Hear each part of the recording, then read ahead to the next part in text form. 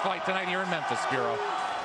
John, tremendous concentration for you with the mascot just over his shoulders, but uh, Buzz Williams absolutely reveres Kelvin Sampson. They go back 30 years, as John just alluded to. Buzz was a student manager at Navarro College at Corsicana, Texas, just outside Dallas. Kelvin, of course, the head man at Oklahoma. Which of these two teams are going to be punching their ticket? The lineups, Radford again missed the first meeting between the two teams on December the 16th. Jamal Shead, LJ Cryer, one of the two stars for Houston. And there's Kelvin Sampson. Only one thing missing from his trophy shelf. Can he take this program to the promised land? Jimmy, they'll try to take one more step here tonight in Memphis. One thing both coaches touched on, how this game will be officiated, so critical. Our crew here, Marcus Pettigrew, Lee Cassell, and Jeb Hartness. And Spero, I think to your point, just that how they're going to officiate it, if you look at the officials. Go ahead, Jimmy. I think I think you just look at it and you say, Texas A&M is a fabulous offensive rebounding team, right? They get 17 per game. Houston prides himself on their defense and not allowing second chance opportunities. I think if the whistles are going to be blown, they're going to be blown early and often underneath the basket with Texas A&M going after the glass.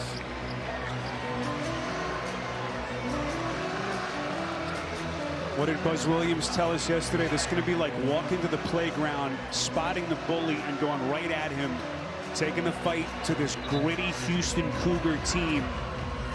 Yeah, and I think overall, if fouls do play a, role in this in the first eight minutes or so, I think Texas A&M with their depth, a little bit more than Houston, Houston coming off some injuries, that should mount into this, you would think.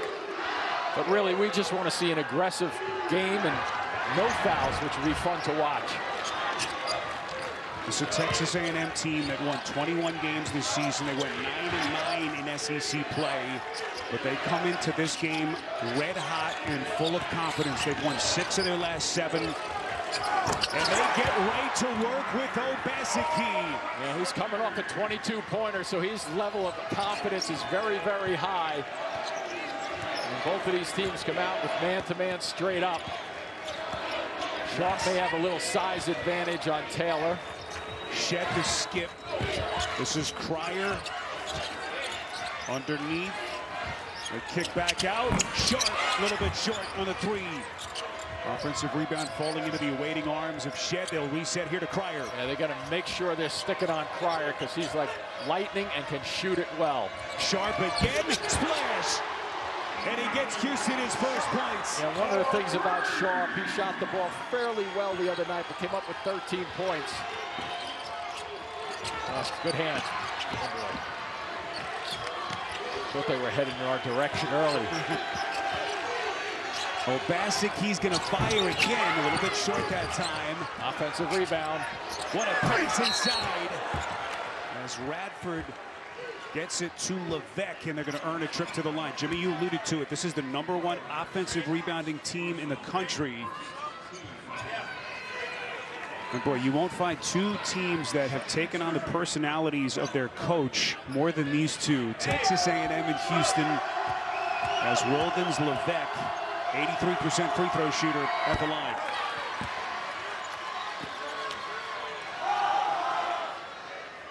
Texas A&M took care of Nebraska in the opening round, 98-83. And Houston with an easy first round victory over Longwood to get us where we are here. See what Houston has done all time in this round of the tournament. Just consider all the expectations, the weight on this team to make a deep run. They turn back Taylor. They get it back. Washington, who was terrific the other night, earns another trip to the free throw line for the Aggies. And that's another blast to the offensive glass, that time by Washington, just trailing it you see how they come down the floor. He's going to work his way to the middle of the court where he's very, very effective. He can go both ways with it. If they come up with another opportunity off the glass. Whistle charge to Ja'Vier Francis is first. So here's Solomon Washington, really good the other night. Seven points, four blocks. Oh, you can watch live men's games on your computer, phone, tablet, or streaming device with NCAA March Madness Live. Download now to stay up to date on all the action. And Spero, when you look at right now with you know, less than two minutes of action played, the front line guys for Houston each have one foul, Roberts and Francis. It's early, but let's see if they go after that, make, make some hay and try to go after them on the offensive end. Houston Cougars, 31 wins on the season. Finished the regular season number two in the AP poll. As Sharp buries another triple. I, I, don't think he gets enough attention. Obviously, he's not getting enough attention right now on the offensive end. Radford bottles up, gets it back, and he cleans it up. Good stay. Very good going to his left. He's a left-handed player, so they have to read that scouting report and make sure they're okay with it. Spero, watch what what Texas A&M does. Watch along the baseline here how they plug somebody into the middle of the floor. You see how he's cheating right there? They do that as well as any team in the country. And he fouls right there, but he's there defensively to help out. They plug the middle of the floor. So you look across court, make people run a bit. Now that's one of the downsides to plugging the middle of the floor. It's a long way to go. And Radford just stays on this play, cleans it up. So here is Roberts at the free throw line. They've had to ask Roberts for even more production. He's had a really good season, but with the injuries, Jimmy, that they've had, especially to Joseph Tugler, lost him early part of this month after he had to undergo foot surgery. Just more on the plate of all their other bigs left on their roster. And Roberts himself has been dealing with a shin injury the last couple of weeks.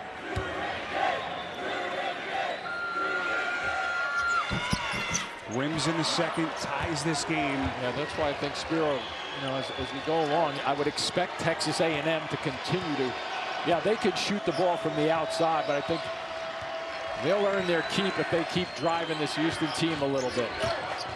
There you go. To the box, body bumping, layup, no, and it's tapped out. what a play by Andersson Garcia. Yeah, what a drive by Radford, too, to get that shot off. He just missed an easy one. Garcia, number one rebounder in the SEC. Taylor's three, no. Boy, look out. Boy. As Francis takes a nasty spill and the basketball back to the Cougars. Couch your courtside. Refresh your fandom with a delicious Coke Zero Sugar. Is it the best Coke ever? Try and decide. Let me know if you want to get out there and try to box somebody out. uh, that'll be a hard no, Jimmy. Physicality between those these two teams, something to behold. It really is. Three-pointer from Cryer won't go. Nice pass with the left hand. Washington's 3 no, and again, look at Garcia. As he's a specialist on that, looking for offensive clearance on the ball, just get his hands on it. And it's love the way if they don't get to it, they tip it out and their guards stay this short of half court. Radford, now to Taylor, inside, no. Everything's contested though, isn't it? I think you keep driving it too. Make Houston defend off the dribble. Boy, Wade Taylor's been on some kind of a heater. Back-to-back 30-point games in the SEC tournament. And sensational in their opening round win over Nebraska as Sharp misses from deep. See the shooting numbers for the Aggies. With exactly four minutes gone by here in Memphis. Yeah, Buzz Williams putting the brakes on this possession here. Here comes Radford, spins into the double. He has to force. He flicks it up, and he's going to shoot free throws. Kelvin Sampson and his bench can't believe it. Boy, this is high intensity. Everything we expected between the Aggies and Cougars here in Memphis. I'm Jamie Erdahl back in New York with this Get More with Geico game break. It's all locked up over on TBS between Grand Canyon and Alabama. That was Mark Sears in traffic for the Roll Tide. He's got 20, leads all scores. It's close. Alabama looking for another trip to the Sweet 16. All right, Jamie, back here in Memphis, early stages. There's your score, 7-7. And there's one guy here in the house who's hoping for a deep run from his beloved Cougars. There's Jim Nantz, our buddy and colleague. His son Jamison taking it all in here. This was the scene a couple of weeks ago the Cougars unveiling a banner honoring Jim, his remarkable career, calling 32 Final Fours. Tip of the cap to Jim, just incredible. What a career. What a career. Pretty awesome to see him with Jamison here, taking in the sights. As the free throw from Radford. Jimmy, what about some thoughts here? What are you seeing so far a couple of minutes into this game? Well, we thought there was gonna they were gonna play this inside and really muscle one another as best they can. As he misses that second one. Clock went off for a reason, but they keep playing through it. It's it's just fun to watch this type of game in person, you know, because you really get a feel for the aggressive nature of it and the speed in which they're playing at. Ja'Vier Francis sits on the bench, picked up his second personal as Cedric Lath has checked into the game.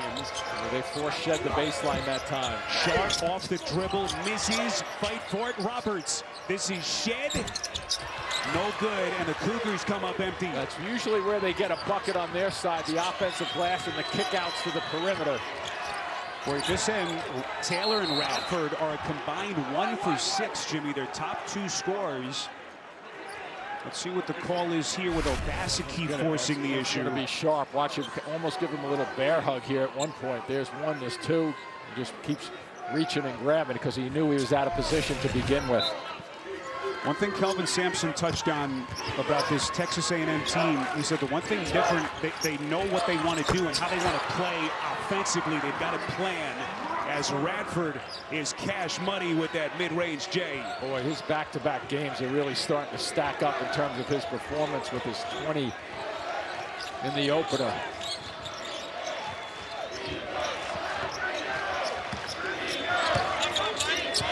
Try to force it to the corners and help to the baseline side. You see where there's help there? It's a tough catch for yep. Shead. Cryer from deep. Texas A&M's reaction very good from right side to left side and back out to the shooter on the diagonal. Obaseki underneath. Wow. Then a flick by Garcia. Officials say jump ball and the possession arrow is going to give it to Houston.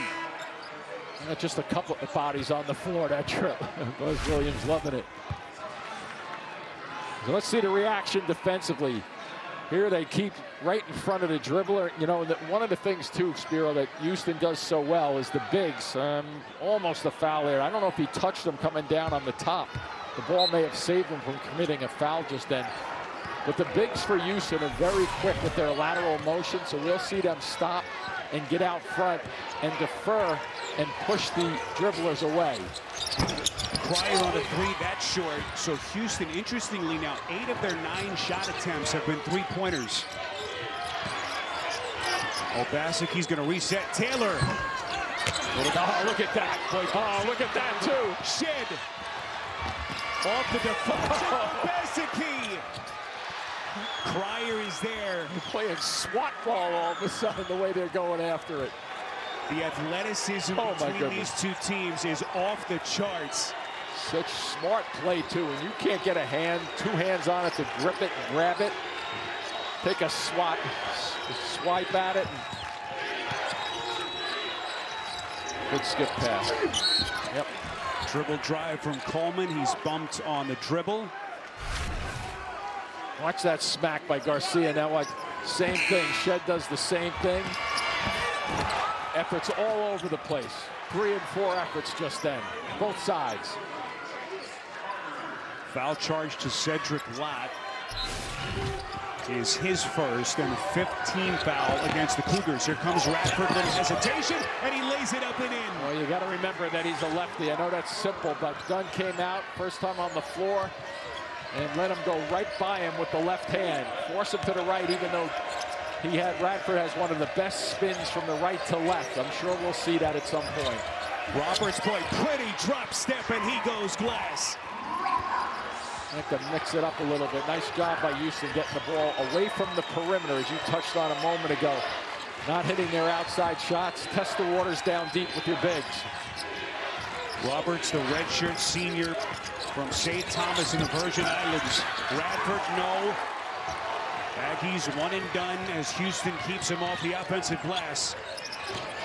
Damian Dunn has checked into the game. This is Shead. Nice delay by Shead also. Even though Texas A&M got back in a hurry, his delay out front didn't want to push it in a fast break transition play, but that was just as good in the delayed break by himself. Jamal Shead, the player of the year in the Big 12. Not to mention the defensive player of the year in what was a brilliant season. Offensive rebound, Coleman back up and he's fouled. That's probably a good foul because Coleman would have just finished that off for an easy bucket. Watch Radford just goes right by Dunn. He gave he gives him the shield to go to the left, and that's he is a lefty, so he'll make that happen. Watch this delay. And puts it right up with that left hand. Smart play by Shead, but that's what he does, make smart plays. So Henry Coleman, 69% free throw shooter hits on the first. Watch whip around coverage of all men's games on your computer, phone, tablet, or streaming device with Fast Break presented by Nissan in the March Madness Live app. Download today. Jim, interesting Texas A&M star Wade Taylor, who came in on some kind of a heater, yep. is 0 for 5 so far. He has yet to score a point. So if you're Buzz Williams, you have to be at least partly encouraged that this yeah, game with, is tied. The score, yeah, and against uh,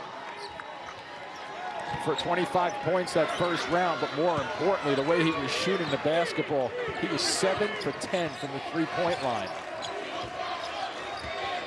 He's been a little bit feast or famine at times, but yes, boy, he yes. come in red hot. 25 points on average over their previous five, including those back-to-back 30-point games in the SEC tournament. They have a matchup size advantage with Dunn. Shead the drive and kick. Wilson out front. This is Sharp. Back to Shead. The fake. Two to shoot. Wilson will let it rip. And they missed. Pretty good execution, though, by Houston to use that clock and not rush to a fourth shot. Garcia on the box. Obaseki slinging it. In. Splash!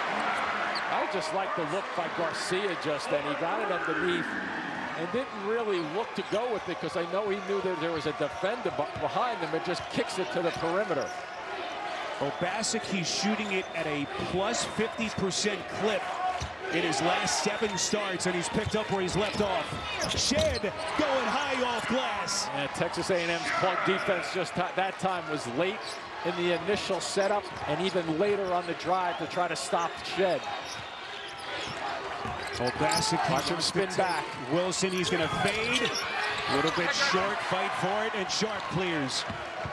You have to continue to read Texas A&M's defense.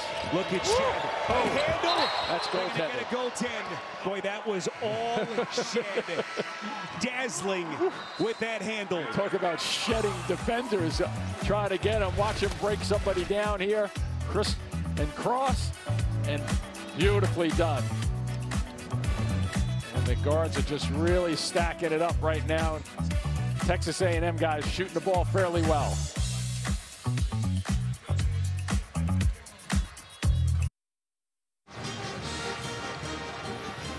Well, be prepared for history to be written, hearts to be broken, and one champion to be chosen in the 2024 Stanley Cup playoffs. NHL on TNT playoff coverage begins April the 20th on TBS and Max. Seconds ago, Jon Rothstein with Kelvin Sampson. All right, Kelvin, how do you clean up the defensive glass? Um, keep JB France on the floor would help. Him getting in two fouls. Um, um, it's just devastating for us because we just don't have another sub behind him. So we either let him play with two or, or go small. Right now we're going small, but we, I'm sure we're going to have to bring him back. All right, thanks. Talk to you in a bit. Okay. All right, John, what a juggernaut of a program Kelvin Sampson has built. 31 wins this year, Jimmy, despite the fact that he has lost four different starters at various points of the season. He mentioned some of the, the thinness that they have with their front court. Huge loss of Joseph Tugler. Beautiful pass here, Garcia. Series of fakes, and he comes up with the deuce. And Radford, a guy who likes to shoot that shot coming through into Kelvin Sampson's comment on whether he puts the big in Francis with two fouls. I think you'll see the scoreboard indicate that. If they go, you know, if they get down eight or 10, he might go to him, but I think he'll want to save him for the second half. Francis has been on the bench for the last five minutes of game action. This is Wilson. They leave him open, and he hits. Big shot for the Cougars. Kidd starts it. Sharp continues it. And then they finish it off with a beautiful Wilson jumper. Wilson, the Texas Tech transfer. he misses in a crowd.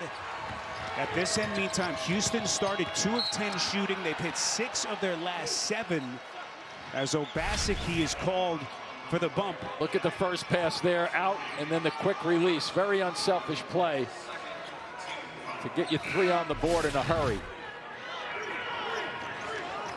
Jimmy, we have yet to see Ramon Walker in for Houston tonight. Remember, they got Walker back from that knee injury. Made his return. First time they've had him since late February, the lateral meniscus tear. Wade Taylor has checked back in for Buzz Williams meantime as we cross the midway point of this first half. Yeah, Walker's a big that could give him some lift off the off the uh, boards also. Shot clock down to seven. Shead guarded by Washington. Near side Cryer. Baseline shot. No, but he's bumped.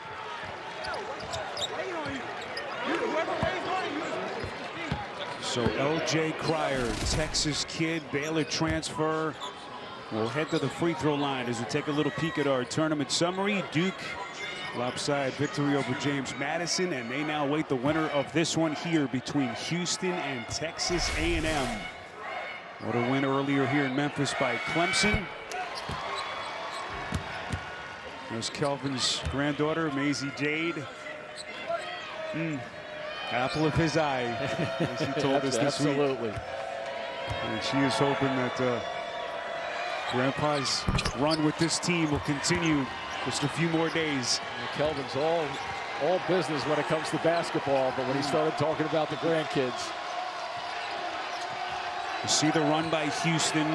Five ties, nine lead changes. They're up four. look at the way they clamp down on the perimeter. Just one-on-one, you're expected to stop your guy. Radford erased by Cryer. Shot clock didn't reset. Five. Taylor. Oh, watch out. Look out. Bodies all over the place. Looks like everyone's okay. Wade Taylor now is 0 for 6. Let's get the call here. I'm just going to be real honest with you on this steal. I don't know what happened to the traffic. Boy, it's going to be a As far as- one and one. His body's bumping. And watch this now. Who'd they get on that? Boy, look like Radford was bumped into Cryer. What a tough break Yeah. for Houston. But again, the offensive rebounding prowess of A&M is really what's keeping them here to within four points. Yeah, 13 rebounds, but seven of them so far in the offensive end. Boy, Radford misses on the front end. So Texas A&M, if you just joined us, 6 of 21 from the field. They're 1 of 6 from 3. And look at Roberts out there, Spero, right at the top of the key area now. He is struggling a bit. And might be looking over to, he looked over to the bench for a second. Told you about that shin injury. Shead's going to fire. Back of the rim, no. Long rebound, Cryer elevates and hits baseline. Yeah, Ro- Rob, they're going to have to make a substitution for Roberts. He started to jog down. I would, I would think they'd have to. Yeah, they're getting somebody up off the bench. Ja'Vier Francis with his two personals jogs over to the table. Go right at him if you have him. Houston has scored seven straight. This is Washington down to the box. Tough pass to Garcia. 10 to shoot. Little backdoor hit. Oh! Corner. Well, Garcia's fun to watch, too, on the offensive glass. That was a little tricky flip, backdoor cut, and pass for the delivery. There is a slickness and a cleverness to that kid Garcia's game. See the way they're trying to get Shead to go along the baseline. Shot! Oh, Deep shot for Houston. Shead is picking it apart because he knows they're trying to bait him into going to the baseline, but he's smart enough not to go all the way. Here comes Radford, left it short, gets it back, oh, missed, and Washington hitting the glass. But Buzz Williams looking for some answers. They're down seven with 7.32 left. Here's and a- a date to Dallas on the line here in Memphis. Emmanuel Sharp, hot here at the start. Get complete coverage of the NCAA Division One Women's Tournament at NCAA.com. Seconds ago, Jon Rothstein with Buzz Williams. Buzz, how did they build the lead in those last couple minutes? We're just not physical enough. Uh, we're not guarding the ball well enough. They're getting us in rotation. Too oftentimes they're getting an offensive rebound. We've got to be more physical, take up the cushion, try to keep the ball on the side. All right, thanks. Talking a bit. Buzz Williams has this Aggies team in the tournament. Another look at the potential injury. Roberts came up hobbled a little bit. We've been talking about that shin injury as they look at him now. Clearly still bothering him, Jimmy, on that bench. Yeah, trying to do their best to numb it a little bit. Looks like looked like some cold spray going on it. So Washington at the free throw line. And the Aggies now 5 of 10 at the stripe. John, what do you have? All right, well, Spero, J'Wan Roberts re-aggravated that shin injury that hurt him last week in the Big 12 tournament. Got some treatment, but he should be fine to come back, Spero. All right, so good news for the Cougars as Wilson clears. What's the call here? It's going to be against Texas A&M as they're going to get Radford underneath.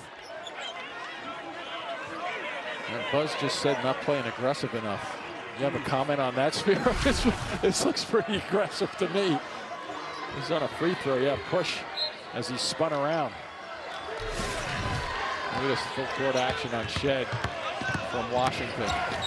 Here comes the ball. Again, Washington swallowed him up. Wow, he went right by him initially, but Washington really put the Jets on. There we go. Slicing through the teeth of the defense. Yeah, look at this. They're still putting Washington right here on Shead to challenge him. Let's see how he plays. He's taller. And that's six seven. Shead a little quicker. Radford, who played for Buzz Williams at Virginia Tech. Big basket for the Aggies. Cryers pass stolen. It's Radford. A foot race to the rack, and he lays it up and in. He's so good at getting the open floor, but he's better at delaying his shot after the bodies go flying by him. One thing Texas A&M likes to do, they like to split the court. Once you get the ball on one side, they want to keep it on that side as best they can. This is Sharp. In and out, fight for it. Taylor tracks it down. Good decision by Taylor here. There were three Houston players back, so a good decision to wait it out and pull it back. The Aggies are shooting 35%, and miraculously, it's a three-point game. Yeah, it was a good decision too, Spero, because of where they are on the scoreboard. They're making a little run right now, so make sure you get a good shot. Radford has come alive. He's got a team-high 10 points. Here he comes, five to shoot. His pass deflected. Nice interior defense Yeah, by that- Francis. They read the spin. Oh, nice look. Wilson off the deflection kick. Sharp left open. He is cash money in this opening half. Sharp has a dozen. That's his fourth triple of the half. 36% from the three-point line on the year. When they know that he's hot, they find him. When he has had big scoring games, this has been a different Houston team. Timeout on the floor. Cougars by six. Here in Memphis, five and change left before halftime. As we take a little peek at our AT&T connected cam. Spero, watch the way he hangs in the air, up there, delays, and then finishes that off. And the answer from the Houston side, though, watch the over here on this side of the floor, and the diagonal pass comes his way. And Sharp, I don't want to say it, might be a sharp shooter, huh? I don't want any elbows from you on that one. we'll let that one slide. All right, thanks. As uh, Buzz Williams looking for some answers here. Aiden Hefner, young man from the Netherlands, one of his senior players. And Buzz's first commitment upon taking the A&M gig back in 2019 is on the floor now for the Aggies. And Hefner, 63% of his shots are threes. Obaseki has to hurry. Two to shoot. Fires no. Another offensive rebound. Garcia relentless on the glass. Hefner the setup. Garcia gets it back and he's headed to the line. Well, Garcia just making it happen though. On the offensive glass, making the right pass to trigger some things and some action. Really giving good, good minutes off the bench. Look at him go after the ball. This time he knows he can grab it. What does he do? He feeds it to the middle of the floor, and they feed it right back. And this is some finish underneath to get to the right side of the hoop. Good little dribble drive there in the middle of the court by Hefner. So Garcia, the senior, born in the Dominican Republic, entering the tournament, he was tied with Zach Edey for the most offensive rebounds in the country. Just an absolute master on the glass. Yep. Great defensive player, too. See what Sharp has done in the struggles of the rest of the team with Houston holding a three-point lead as we move past the five-minute mark. Whistle here against Solomon Washington. After the game, watch the Impractical Jokers publicly humiliate each other for your enjoyment. Next, after NCAA coverage. I actually like that jacket, Jimmy. I almost wore mine today. Shead back to Cryer, finds the laces. Wow, lucky short. Won't yeah. get a better look than that. No, they're lucky to leave him alone like that. That's the wrong guy. He shoots it just a touch under 40% on the year. Boy, can this kid Taylor get going? He stumbles, somehow gets it to Coleman, and then a reach-in foul. Boy, looked like a broken play. Taylor sticks with it. And two free throws coming up here for the Aggies. Some people might be saying, why isn't this called a travel if he falls down with the ball? But watch, he doesn't he doesn't have the ball as he falls. He's still in a dribbling motion, so he keeps that alive and reacts and makes a better play out of something that was really broken, like you said, Spero. Boy, if anyone told Buzz Williams before this game Wade Taylor would be scoreless at the 433 mark of the first half, 0 of 6, and it would be a one-possession game, I'm not sure he would have believed it. You, you, better start making your free throws, too, if you're Texas A&M. Look at this 0 for 6 and 0 for 6 from the three-point stripe after the game he put up. Can't overstate how hot Wade Taylor has been over the last couple of weeks, but Jimmy, you're right. The free throw shooting becoming a problem. Yep. As A&M now 7 of 14 at the line, and somehow this is a two-point game. Just incredible. And it becomes magnified when you look at Houston, only three for four. So they've had 10, uh, 10 more attempts than Houston from the free throw line here. Again, two teams that faced off in the middle part of December on a neutral court in Houston, a game won by the Cougars. This is Cryer, quarter pocket three, no. And a loose ball foul against Houston. I think it might be Dunn right there. No, who'd they get on this one? Uh, done in number five on that side, Francis, I guess. But both of them are over there. Let's see who they get here. Yes, you're right. I believe it is going to be Francis, and that's going to be his third personal. Let's see. Mm, that's interesting. Double bonus for the Aggies, so two free throws here for Tyrece Radford. One thing that Kelvin Sampson told us, we just can't afford to get our bigs in foul trouble. As Cedric Lath is going to have to be summoned here by Sampson. We mentioned the injuries that they've had. Losing Tugler, foot surgery, such a huge piece of Kelvin's front court. I, I almost feel like Kelvin's arguing that it might have been Dunn who fouled just then.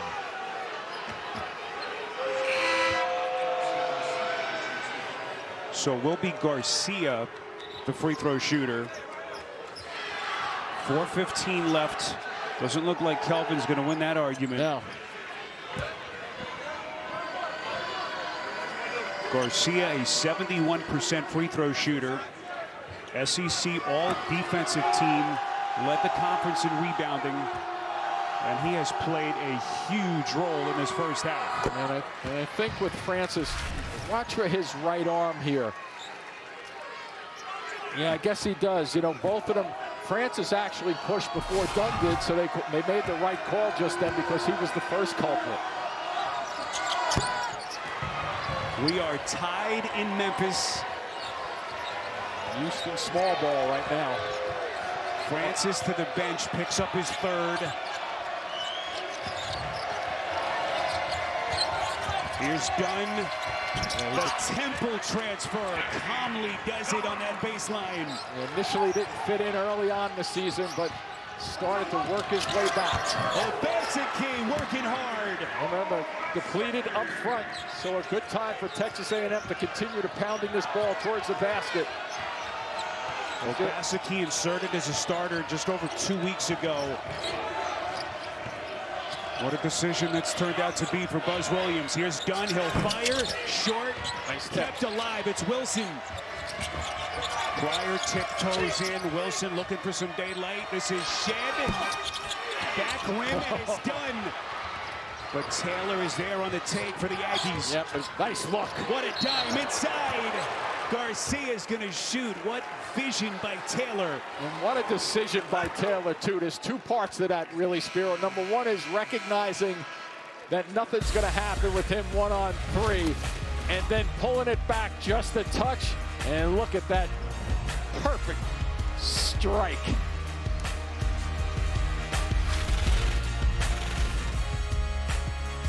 and uh, Bryce Drew. What a season it was for Grand Canyon, but uh, it all ends for the Lopes. The Chuck stop here in Memphis. As uh, we take a little look at our game summary, 3.15 left before halftime. Jimmy, we expected this one to be highly intense. And maybe not the prettiest of games. No, but it's it's played out like we were we were told it might play out. Both coaches emphasizing how aggressive they play. What a chess match between two of the best in the coaching game. Kelvin Sampson, one of the all-time careers in the history of the sport. Buzz Williams, the respect level between these two men. One thing Kelvin told us about Buzz, he said Buzz has it. I'm not sure what it is, but he's got it. Just a tremendous track record of success everywhere Buzz has been in his career. Look at the way they help out on the pick and rolls. They weren't going to run that many of them, Houston, but they are. Cryer thought about it. This is Shead knifing in. A leaner, tough shot from a tough kid. Yeah, you're not kidding, because getting it up off the glass in particular from that angle, you know, most guys are trying to throw the floater right over the rim, but his touch is so good, he banks it in. Seven ties, 11 lead changes, and boy, the Aggies' parade to the free throw line continues. These will be their 19th and 20th free throws of the half. As L.J. Cryer's whistled for his second. Reminder to keep it here. AT&T at the half. Scores and highlights coming up. We'll get you around the NCAA tournament. All the news and notes you need. It's all to come on AT&T at the half. So here's Manny Obaseki. I mentioned his insertion into the starting lineup. Last seven plus games, he's averaged nearly 17 points for Buzz Williams, including that 22 point gem in the opener on Friday. And Spero, I'm going down the stat sheet too, and you look at the star, you know, the people on the Houston team. You know, there's one, two, three guys, four guys with two fouls or more, including Francis's three. So fouls are really mounting up. Here comes Shead, and he takes contact. Just amazing how quick he is, and everybody knows he's a right-handed player, and good players understand how to get to their spots and watch him just wiggle his way in, gets hit, and keeps his concentration to finish it off. Watch after he gets hit, he starts to fall out of bounds right there towards the right and can adjust in a hurry with the strength to finish it off. You know, Kelvin Sampson is not a guy who throws out platitudes and compliments. This is one of his all-time favorite players right here, Jamal Shead. As gritty and as talented a player as we have in the country.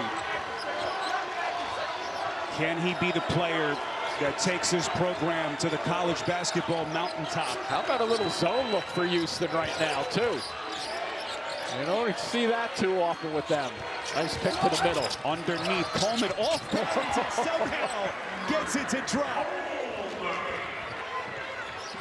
It's a two-point game as we hit the two-minute mark here in Memphis. Houston usually plays that man-to-man -man all the time. Shead. Oh, he's just too good. Well, he's starting to own this game right now with the foul troubles that his teammates have. Why not take it over? 11 points, 5 to 10 from the floor. Second Cougar in double figures. Oh, Obaseki throwing a haymaker. I'm not sure the zone's working that well, Spero. Foul problems will cause you to go into the zone. But boy, if you've not played it a, a lot and practice it often, you're going to have trouble with your assignments. And looking to try to get this ball out of Shead's hands. Good ball movement by the Cougars. This is Dunn. Chisels into the paint, and he puts it down. Nice, nice pace to this game right now for both sides. Back to the man-to-man -man in a hurry. Whoa. Taylor is mauled. A lot of contact. Shead argues and pleads his case. Two free throws coming up and a chance for Taylor to finally get his first points. Yeah, look at the crossover and then the step across. Beautifully executed and watch this one, baby. Oh, Obaseki finishing it off. So Shead, who's still pleading his case, picks up his second personal. And here is Wade Taylor now at the free throw line. 84% of the season, and he misses. Spero, just watch when he shoots the free throw here, how much rotation he gets on the basketball. Basically gets as much rotation on the ball as just about anybody I've seen in a while. And usually, when you have that rotation, that shot that he just put up generally sits on the rim. Man, it's, it's perfect.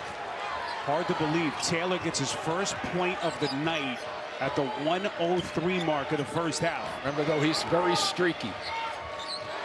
And Kelvin Sampson knows that, too. Next whistle against the Aggies puts Houston in the one and one. 10 on the timer. Carter defending Shead. Out to Dunn. He'll fire. Wow. Shead streaks in. He'll bring it all the way out again. Smart. Shot clock resets to 20. Shead sizes up Carter on the take, and that's going to put him at the free throw line. Boy, this has been all Shead over the last two minutes and change as he's got a chance to put them in front by five. His parents, Lisa and Elvin, how proud must they be of their boy? Another nice t-shirt there, taking it to the shed. I like that. Some clever t-shirts. But you know what, though, Spero, from a scouting report standpoint, where has he been doing all his damage when he's driving? On the right side of the floor. I know he can go left. I know he's a fabulous player, but take a little of the edge off by forcing him to use his left hand a little more. Shead hits on the front end. One of the things Kelvin told us, he's credited his parents. Everyone talks about how talented this kid is. He's also a star in the classroom, a GPA over 3.8. the first thing he said, his parents, give them all the credit.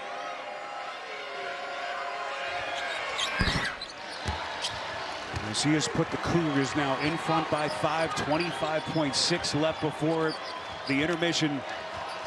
With the winner here, moving on to Dallas to take on Duke. Another zone look. Let's see if he gets one of the small wings to flash to the middle of the floor at some point.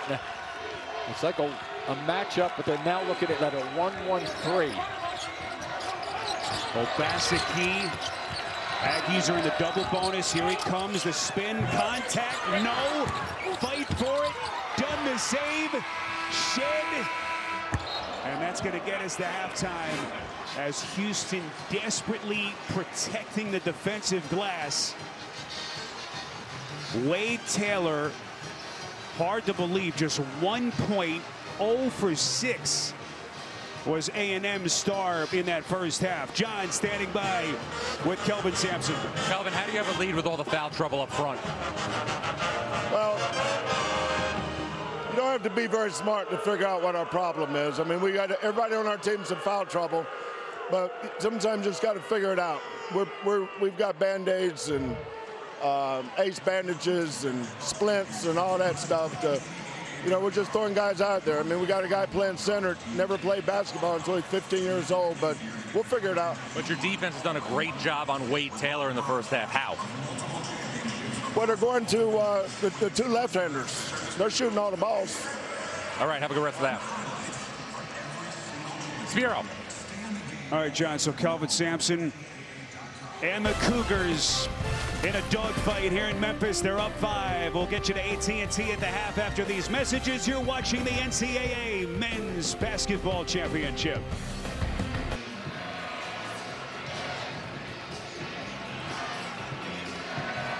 Go here in Memphis, just before we get ready to start the second half, we want to acknowledge a very special person on our crew, our graphics operator, Lisa Hanson, who's retiring after 40 years in the television business. Lisa has had a remarkable career. She's worked all the big events. She's done it at the highest level. Beloved part of our CBS Sports family, and uh, we are going to miss Lisa. And really privileged to have her part of this crew. One thing Lisa really wants, she wants to see the first half stats presented by Marriott Bonvoy. There you go. Lisa built these stats for us, some of her handiwork. Five-point nice. lead for uh, Houston as we sit in for the final 20 minutes as we welcome you back courtside. Spero Dedes, Jim Spanarkel. We'll hear from Jon Rothstein in just a couple of seconds. First half thoughts and what are we looking for here first couple of minutes of the second half? I guess the only way I can explain this is in the old days when we used to play five on five, you would call your own fouls in the, in the playground. I'm glad they're not doing this right now, Spero, because there are plenty to go around in that first half. But it'll be interesting to see. Foul trouble will play a factor most likely when it comes to Houston's side of the ball right now. Look at that number 29 combined field goals and just three turnovers in the first half. Boy, the flick! Radford story of this game has been the offensive rebounding by Buzz Williams, but that's something we've seen from this bunch all year. Number one offensive rebounding team in the country. They have 11 now, and they average 17, so they're nearing that average, and Houston's got to do a much better job of keeping them away from it. L.J. Cryer, the Baylor transfer, gets the Cougars on the board. Yeah, he's one of the guys who just has to get on track. He's two for seven at the half. You would think they'd run and call his number a few times. Here comes Obaseki, little spin, fight for it. And Cryer on the take for Houston. Yeah, those spin shots were the ones that were going down in their first game against Nebraska. Officials say last touched by the Aggies. So you look at the action on the offensive glass and watch this little flip shot as he falls off his pace. And a nice finish, though.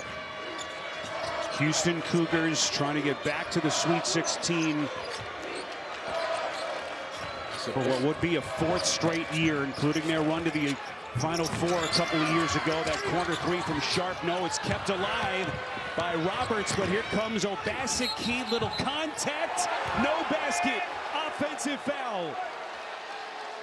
You know, the trick to this play by Shead is let's see if he moves at all. Because if you move, it's going to be called the other way. But watch, he plants and he stands still. Even though Obaseki, Obaseki comes over, but he, he runs him over, even though he's sliding by. That's Jamal Shead, Defensive Player of the Year in the Big 12 this season. Let's check in with Jon. Well, Spero, I just talked to Buzz Williams, and he told me his biggest point of emphasis in the locker room was Texas A&M gave up too many long offensive rebounds in the first half. That generated extra possessions for Houston. Why the Cougars have the lead, Spero. Now, Jon, that's a huge call. Obaseki's third personal, so he has to sit. Less than 90 seconds into the second half. Here's Cryer. Looking for some daylight. Shead's going to launch. And the rebound controlled by Jace Carter, the junior. And back come the Aggies. Here comes Radford, one of their stars. No offensive rebound, and they're going to get Roberts on a reach in. Jimmy, they just will not stop coming on the offensive glass. And that's number three on J'Wan Roberts. Couch your courtside, refresh your fandom with a delicious Coke Zero Sugar. Is it the best Coke ever? Try and decide. You know, Spero, once in a while, I think, and not all the time, Carter just comes up short, walking off the line. I think when they get in trouble in the lane, they flip that ball up just to put it on the glass so somebody can go try and get it. Boy, these missed free throws starting to become a big part of the story. They come up empty again. The Aggies are now 11 of 24 at the free throw line. And Jimmy, a critical juncture here with Obaseki to the bench. Keep in mind, Wade Taylor, the number one scorer, is 0 for 7. He's got one point if you've just joined us. Cryer, and he buries a three. Relatively quiet in the first half. Guess that was Jim Nantz enjoying that shot, huh? One of the Cougars' favorite sons. Open that. And that's going the other It's way. an Spero. offensive foul. It's Sharp drawing the contact. Yep, number 13, Washington with the arm extension. Got to be careful now if you're Texas A&M. And so here's that little push, and now watch, here's the other part of it, the right arm shiver. Pryor, you knew they were going to try to run a couple of sets for him, gets that right foot back, and great rotation on the basketball. And Houston in control right now. Solomon Washington picks up his third personal, so he has to sit alongside Obaseki. Danger zone here if you're the Aggies. Shead's pass broken up. Good hands in traffic just then. Andersson Garcia comes up with it. Here comes Taylor. They desperately need him to get going. And finally, their star has his first basket of the night. Did you see that play out front too? Where Shead tried to go for a steal and Taylor just blew right by him as they shift back into a zone right now. Taylor, the junior from Dallas. Here's Cryer, finds the laces, splash. Zone breakdown because one guy had the ball and Pryor dribbled right out of it. Next thing you know, he's got a wide open shot. led the Big 12 and was 13th nationally in made threes this season. He scored their last eight.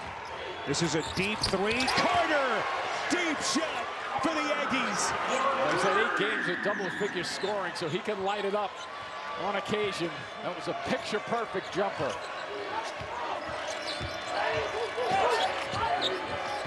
Just like a 2-3 look. And now it's back to a, like a matchup.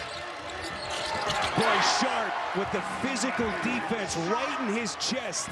He never flinched.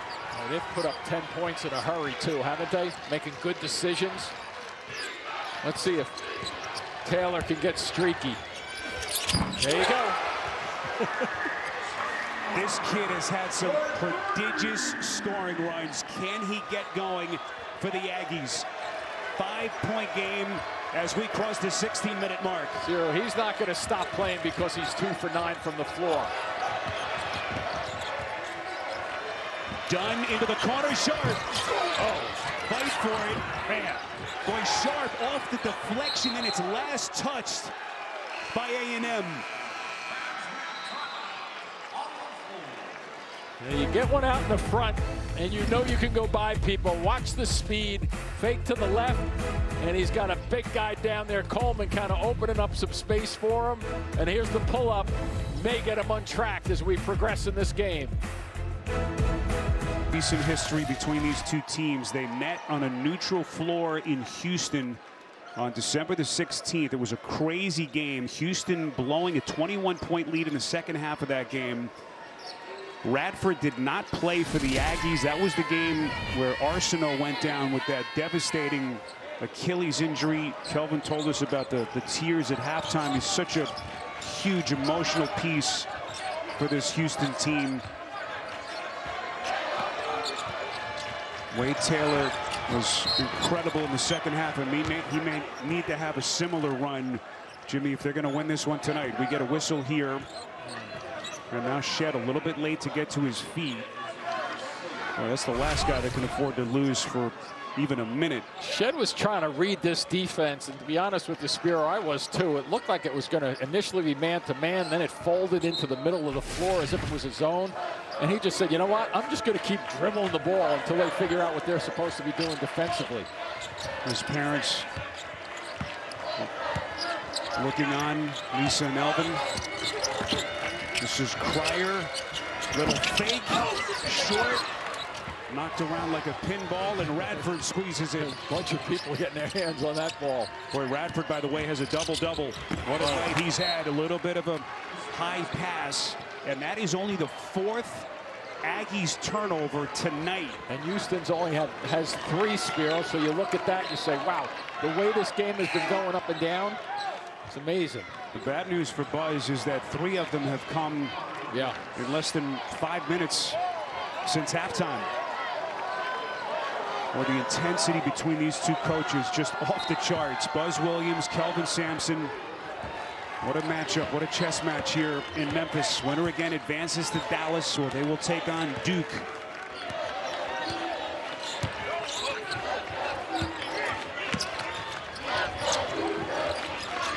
Back into his zone right now. Middle of the floor is wide open again. No flashes though. Shead the bounce into the corner. Cryer, little bump, and he sticks it again. L.J. Cryer starting to light up the night here in Memphis. You know, you want your guards out front playing as if there's a string attached to them. That was a perfect example of Shead breaking somebody down off the dribble and Cryer just reading his spot on the floor. Boy, Taylor right into the teeth of the defense, knocked out of bounds. And the officials say it'll stay right here.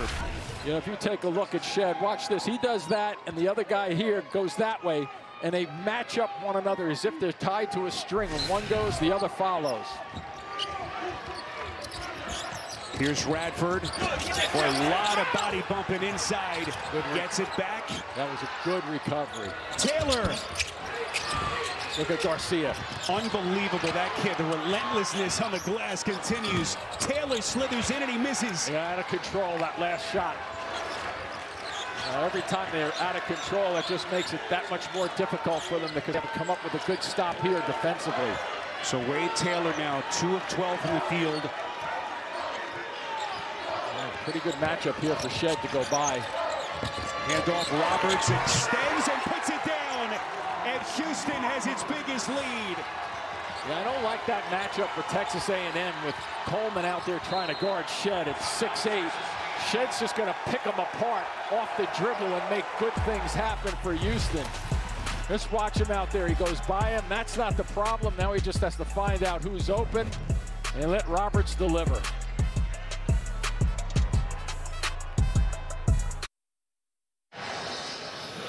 Go watch CBS Sports HQ for free 24-7 coverage of the big dance and all the biggest moments in sports. Catch tournament highlights, picks, previews, recaps, and much more. Download the CBS Sports app to watch today. L.J. Cryer, Jimmy, starting to take the game over for the Cougars. And I like the way that they involved him more importantly because in the first half he was 2 for 7, 0 for 5 from 3. But you know he's he's a, a winner, he's a shooter, he's a gamer. So they had to do something to try to get him involved. So 10 of his 16 points have come since halftime. Quick spin, and it's taken away by Cryer. He's doing it at both ends. Yeah, you know, Spero, I think it's like with Texas A&M. Go put the ball in the baskets. Once you get a little bit of a, a break and you get an advantage, Stop with the foot passes and just go and deliver. Get to the line again. Buzz Williams reinserting Manny Obaseki into the game. Can't waste any more time here as he plays with three. Little pass sharp. Ran for the save. Big play. And that was Garcia again, getting a hand in the middle of it. So here's Obaseki. 4 of 10 shooting. Crossover dribble. Here he comes to the rack. Full extension. Big basket for the Yankees. And so smart. Get it into the middle of the floor. Stop with the trying to make extra passes if you have a shot. Get it and put it in the hoop. 17 starts as a freshman two years ago. Last year he had that broken bone in his hand, really put a wrench in his season. But boy, has he put it together on the biggest stage.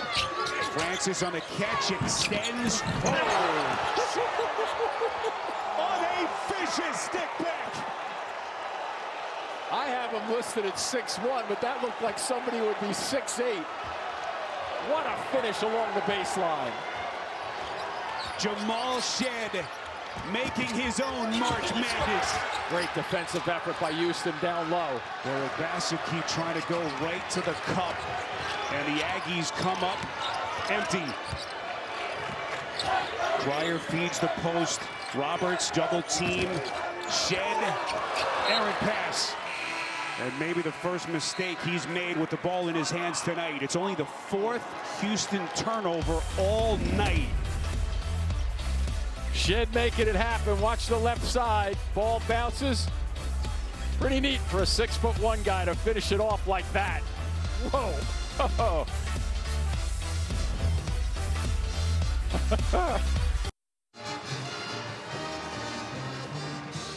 Two schools separated by about 100 miles doing battle on the biggest stage. Which of these two will be moving on to Dallas? Jamal Shead has been lethal down the stretch. Let them hear about it here in Memphis. Here's Jim Jamison looking on. He's kind of moving up on the edge of his seat a little bit, isn't it? Before he was sitting back a little bit more. Well, this Cougars defense, no unit more stingy or stingier in the country. Can they hold on here as they protect this nine-point lead? Here comes Radford. Sharp. Oh, what a play. Man, was that a great play. Instead of trying to catch the ball with two hands, he just bangs it down and dribbles it. Let's go of it. Perfectly executed. Winner here will take on Duke. As we come up on the 11-minute mark in regulation, Shead the kick. A little bit too much velocity on that pass. So a couple of successive turnovers by the Cougars. Watch the effort and watch straight down. That's a, that's just a, a thinking man's play right there to get that done.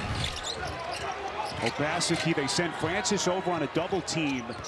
And Obaseki now is going to reset. Yeah, does Taylor ever need to find a shot or two here? See if he can get on track, too, to give him another offensive weapon. Obaseki coughs it up. Fight for it. And it's taken by Roberts.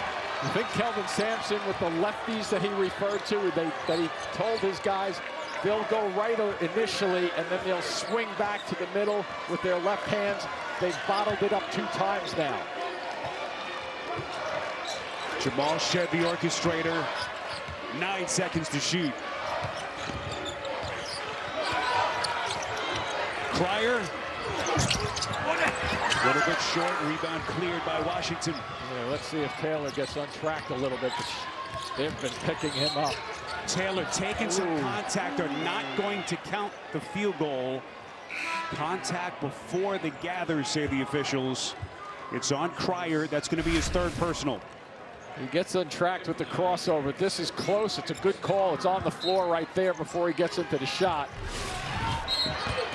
21 sharp. And another whistle here.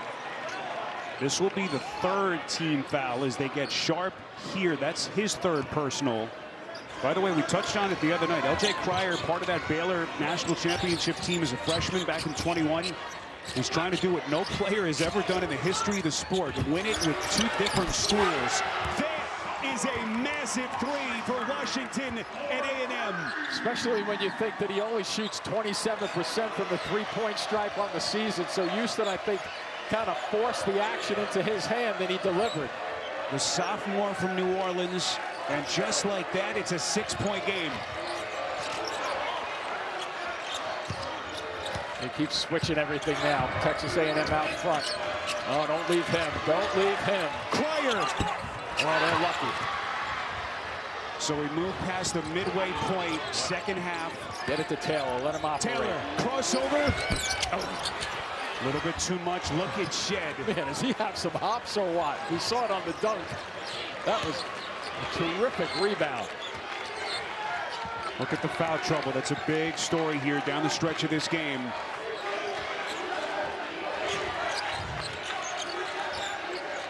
Wade Taylor, by the way, is now one for seven from three. Roberts turns the corner, leans in, and he goes off glass. You know, for a guy at 235 pounds, Spero, number one, he's quick. Number two, he gets off the floor, but that's a soft shot for a guy with those kind of size. Boy, Cryer may have gotten away with a foul. Radford is bumped at the rim. And if this is on Francis, and it is, it's going to be his fourth personal. Watch the way he operates. Here he comes. Little blast to the hoop and a nice touch for the lefty. Jim, if you're Buzz Williams, just got to tell you guys to keep attacking the rim. Yeah, I would do the same thing. Francis picks up his fourth, with still 8.45 left in regulation.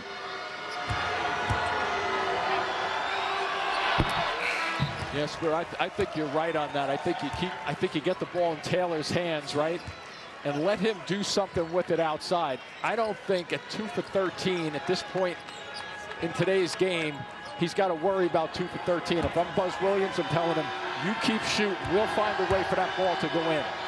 Tyrece Radford, the graduate senior who played for Buzz Williams at Virginia Tech. Buzz is nicknamed him Boots. Said he's tough as leather. He's had an incredible run during this month when his team has needed him most. A little isolation now with Garcia out front. Nice boy, pass broken up. James oh. Carter, boy, he stepped out of bounds. Nearly had what would have been a sensational play. And it wasn't by much. He just barely, much, just barely grazed the line. Watch when he comes over here with his right foot. Or is that his left foot? Boy, Jimmy, what do you think? Oh, I don't know. I was kind of leaning forward. I thought he hit the line. Boy, that was replay. It didn't look like it. As close as it gets. Tough little break for the Aggies. Yeah, because they were off to the races, as you just touched on. Six-point game. Cryer is going to feed the high post. Roberts attacks over two. What a shot. Oh, they forced him right into a double team, and you're right. He just went right over the double team with that soft bank again. J'Wan Roberts, the redshirt senior, hobbled playing with that shin injury. Here comes Radford on the attack. And the relentless driving of A&M continues. Watch Roberts go to work. They run him to a double team right here, and he still reacts and goes right over Garcia to finish it off, but he may very well have picked up his fourth.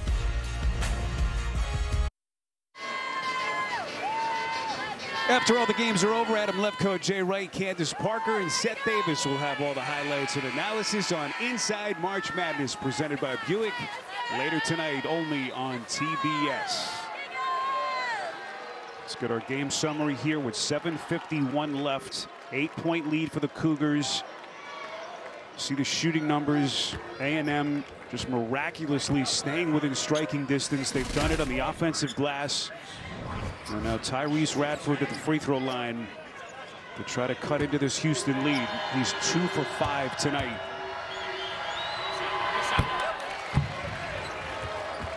Very interesting with the turnovers in this game. There were only three combined in the first half, and now we're up to 15, so there's 12 in the second half. So a little sloppy sloppier play with the passes, but the defense is kind of sliding all over the place to intercept and deflect. I still think the next time down, you one or two times down the floor, you may want to call Taylor's name for Texas A&M and see if he can bury something. You're going to need him active. This is Cryer elevates. Big shot for Houston. Boy, I'm not sure I really agree with that double team on Shead.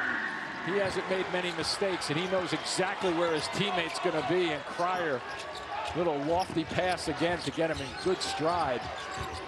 Oh, Radford, they're going to get an offensive foul. Boy, sharp Jimmy has made some big plays at this end of the floor with his defense. Yeah, he's just stick. Watch him just hold his ground right here. He knows he's trying to get, get him to back him in. And that elbow lifts a little bit. And watch the double team here and that little float pass. And they're leaving the wrong guy, in my opinion, in Cryer, who's shot it really well all season long. 39% from three. I don't think he's the guy you want to leave. That's a good point. Jimmy, you watch this Houston team play, and you, are mesmerized by some of the offensive ability and the talent, but all of these offensive guys play defense. Oh, yeah. And that's a must for Kelvin Sampson. Cryer, Sharp, as we get a whistle blown here against the Aggies. Reminder, the Sweet 16 begins Thursday with the Nissan NCAA tip-off on TBS at 6.30 Eastern, followed by double headers on both CBS and TBS. One of these two teams will be moving on to Dallas, where they will take on the Duke Blue Devils. Duke a winner earlier tonight against James Madison.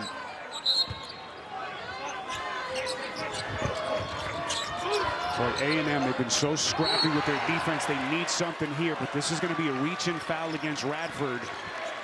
And that's one where you go around his back and, and watch how he tries to reach around his back. This isn't going to cut it because there's just too much room to carry yourself around him to get a hand on it. Not a good decision. And now they have no more fouls to give. Number six on Texas A&M. We'll come up on the seven-minute mark. Shead is really interesting to watch as a player. He's so good at handling the basketball, but look, with his handle, he's also looking over the court to get shooters the shot. Sharp, a little bit too much.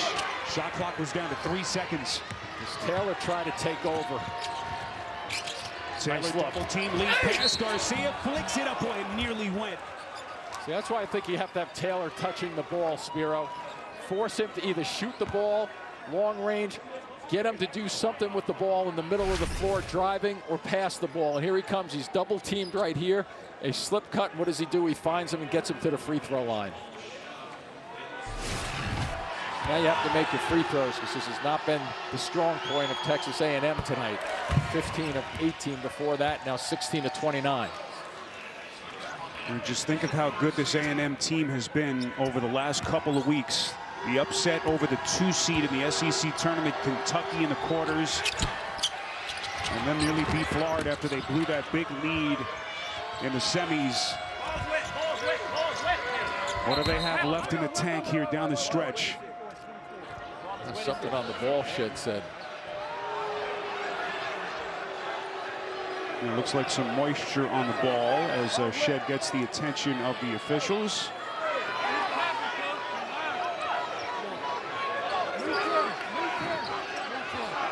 I'm not sure I've seen that before. Take it out over here on the sideline. And four to get it over. New 10 seconds. Officials say he'll have all 10 seconds to get it over here. Okay. I'll go with that. Shead guarded. Now on a switch by Carter. He could go by him out front if he wants to. Shead on the leaner. Missed it. Man, Garcia can rebound in traffic, can he? Here we go. Action with the ball. Let's see what he does with it. Taylor tracked down on the perimeter by Washington as we hit the six-minute mark here in Memphis. Here's the competitor in Taylor. Let's see what he can do if he gets up the ball quickly. Radford bottled up. Seven on the timer. Taylor. Oh, boy. Mm. He still had time to maneuver, Jimmy. Boy, this is going to be a travel. What a break for the Aggies. Sure it was. And you're right about Taylor just then. Well, I want to see him go to the basket, towards the basket with it. I thought it was close to a tie-up, but it was a, a fall down with possession, which is a walk.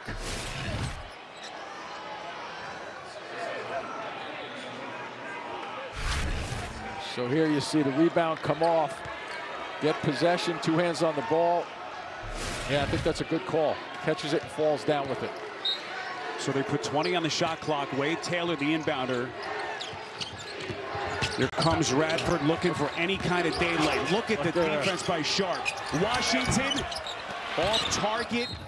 Last touch by Radford. I would almost say that the best part of Kelvin Sampson's defense is the watch the watch the way they react here. Get out in position, get out of position again, and you're stopping people from going by it. That's probably the stamp that I would put on Kel Kelvin Sampson's defense. And you know what, Spero? The big guys do that also, just not the perimeter players. Kelvin Sampson refers to the holy trinity of basketball. Defense, rebounding, and taking care of the ball. As we get an offensive foul here, it's on Sharp. Uh, what are they check? How much? Boy, it looked like Washington just kind of ran into Sharp. That's a tough little call. Does the guy behind them pull him down too? Maybe it isn't on Sharp. Well, looks like it is not on Sharp. I led you, to, I led you down a bad path there. So they do get Washington, and that clearly appeared to be the correct call. Because the officials started pointing initially down the other way like they were going to change direction. So one and one. It's the seventh team foul against the Aggies. And Sharp hits on the front end.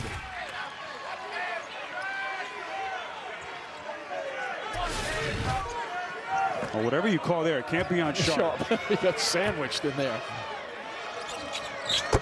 Emmanuel Sharp, what a player he's become for Kelvin Sampson, the redshirt sophomore from Tampa. All Big 12 honorable mention, and he's given the Cougars a 10-point lead with five and change left. Radford stripped. At last touch by Houston. Boy, the defense is just terrific. Absolutely terrific. Who's going to get a hot hand for Texas A&M? Because they have to find somebody to get something to go down. Radford, massive shot for the Aggies. This team has shown so much fight. Can they go toe-to-toe -to -toe with the mighty Cougars? Shead, and he's going to shoot.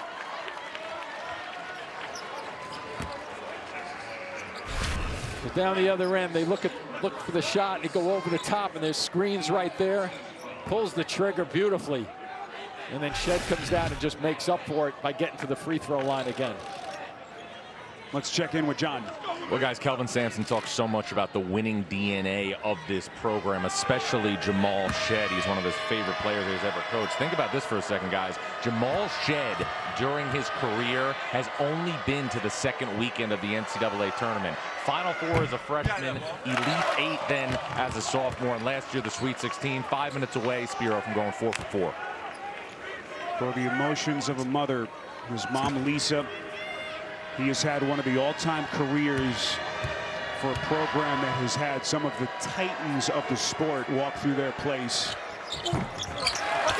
Can he lead him, lead this program to the holy grail of college basketball? Oh, Obaseki up and under, no fight for it. Who's got it?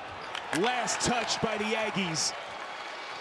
Just not enough oomph on that ball with Obaseki was in fairly decent position, but he was trying to shoot it on the way down. And hit the lower part of the rim. And they go after it. Yep, that's the right call. Off Carter. Texas A&M hasn't been to the Sweet 16 since 2018. It was Billy Kennedy at the helm. Meantime, the Cougars can they take one step closer to their ultimate dream?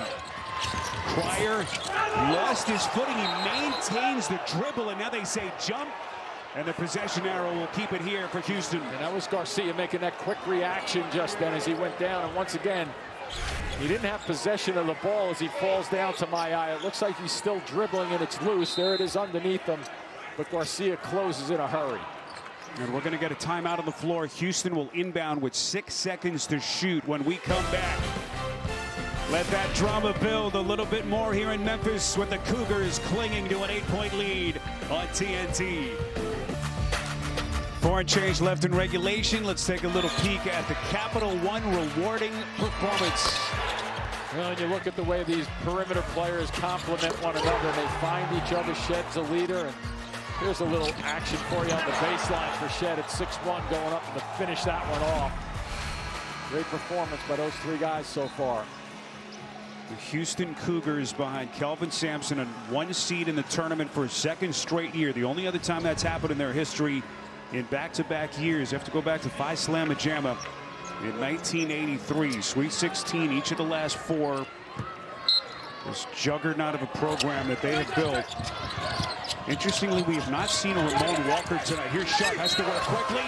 Boy, what a play by Sharp with the shot clock winding down.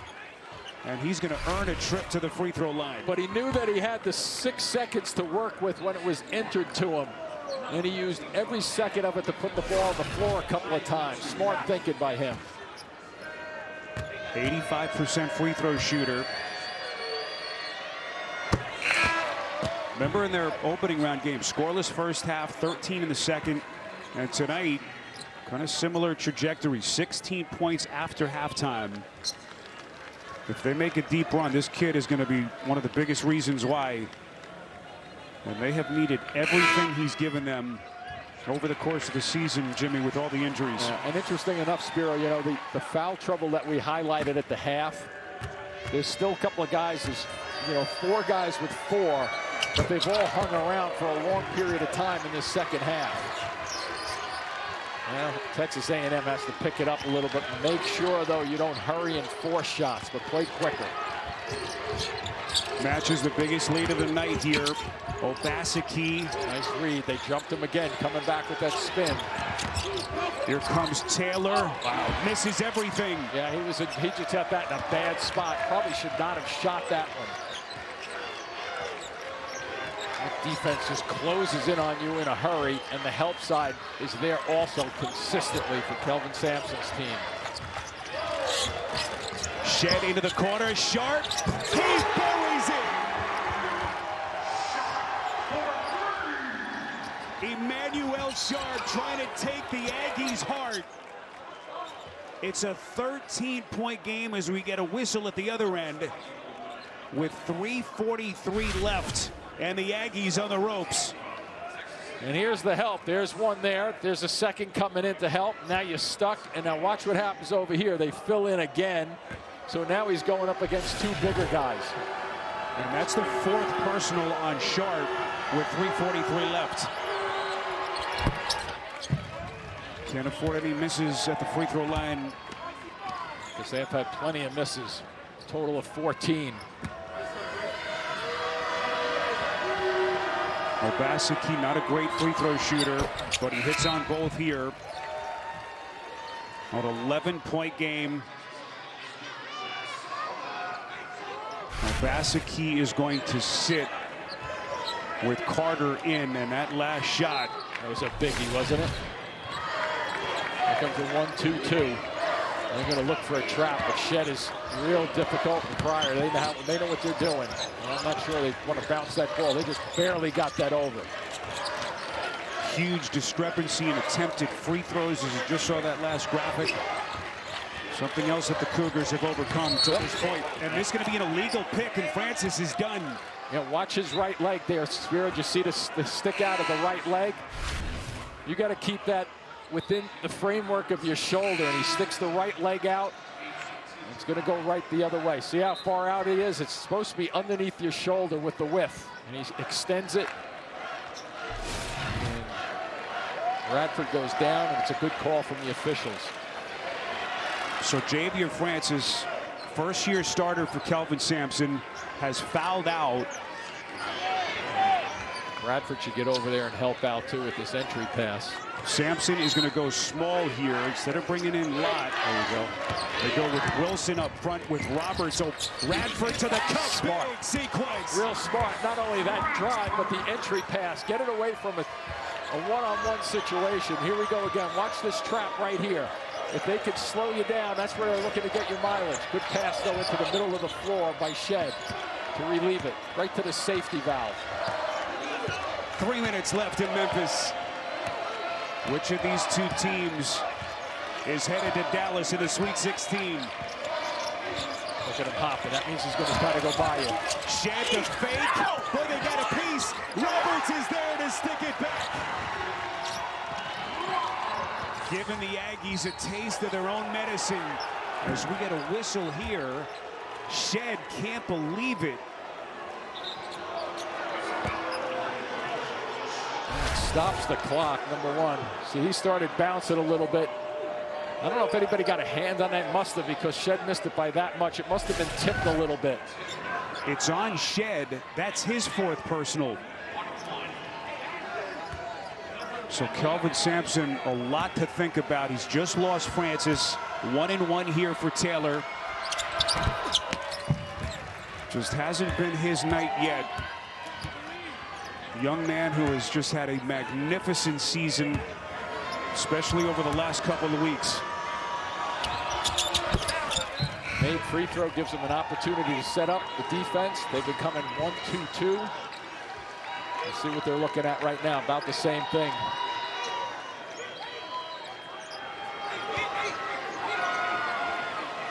Two thirty-nine left. Shead will be the inbounder. And watch this. He's out of frame right now, but you got to get Washington in this play right here. He's got to kind of help play free safety there to make sure they don't go to the middle. Well, almost a steal by Carter. Next whistle against the Aggies puts Houston in the double bonus. Shead the kick, sharp from the corner! Man, you talk about timely shooting. Here comes Taylor inside, no. Offensive rebound, Obaseki, and it's going to be a reaching foul. And that will put A&M in the double bonus. It's on Cryer, and that's his fourth. And just sit it out, wait it out. I said it a couple of times tonight. I just love to play with Shead if you're a shooter because he just really picks the defense apart and makes perfect passes. That was assist number eight for him tonight. So Cryer with four, Shead with four. Francis is fouled out. 2.10 left in a 12-point game. Texas A&M needs a turnover right now, Spero.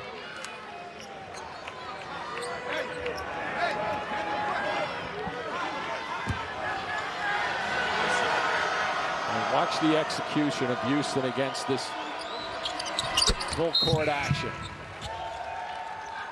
Buzz Williams will reinsert Radford here. As the chess match between these two coaching staffs continue. Yeah, we've seen him do two things. We've seen him run somebody in the middle of the floor, and then you can also go down the sideline, too. You have options. There's the middle of the floor. Nice look. Inside, Wilson wide open.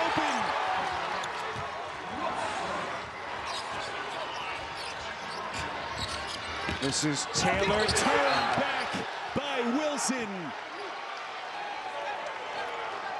You want some defensive stats?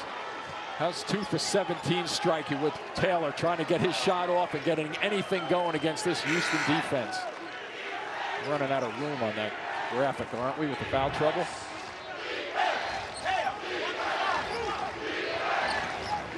One fifty-two left. Right, Buzz Williams going to take a timeout. But this Houston Cougar team starting to lean on the Aggies. A&M looking for some late game magic here in Memphis. Go to the middle, and what a release pass. That's as good as it gets without any dribbles after the second catch.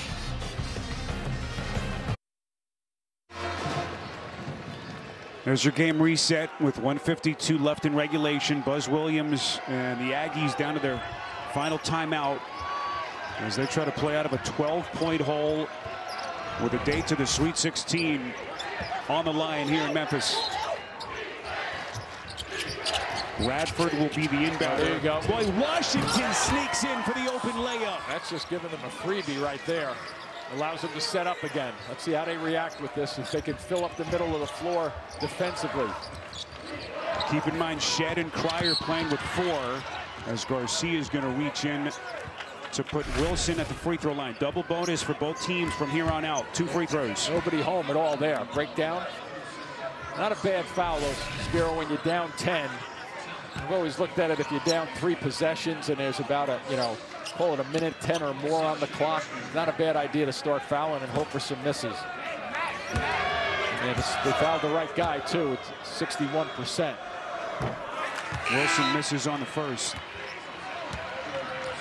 Think of the relationship between these two coaches. They go back 30 years. Got the report from Jon at the top. Buzz Williams, a student manager at Navarro College, just outside Dallas. Kelvin was the head coach at Oklahoma. They struck up a relationship, and the respect level has grown since then. How about that defense? Roberts, Taylor, pulls and hits. Finally, Go figure on that. May have been his toughest shot of the night. It's an eight-point game.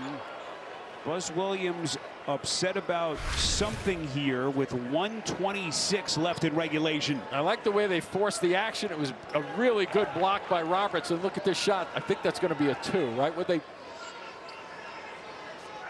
Boy, his right foot's on the line, Jimmy. Yep. yep. Officials have gone to the replay monitor to look. I think they called it a three, Spero. I think. Yeah, Yep. They have changed it to a two. So two-point field goal. How about the quick reaction, though, for him to shoot the basketball? Finally getting a shot to go for him, but it's been a long night for Taylor. I mean, really long as far as percentages are concerned. Three for 18, one for eight from the three-point line. And now you just go crazy on the defensive side. If you foul, you foul. So be it. Nine-point game. They're going to see how they're lining up this football look right there. One guy's got to come back strong. There's Cryer. They missed him. Shead throws in. Cryer crowded. Well, they went for the initial steal. This will be against Obaseki. And that is going to be his fourth. Yeah, this football look is designed to start with everybody congested and then get everybody out of the way. And if I've always said that if one guard against the defensive guard, if you can't get open, you're probably playing this the wrong position.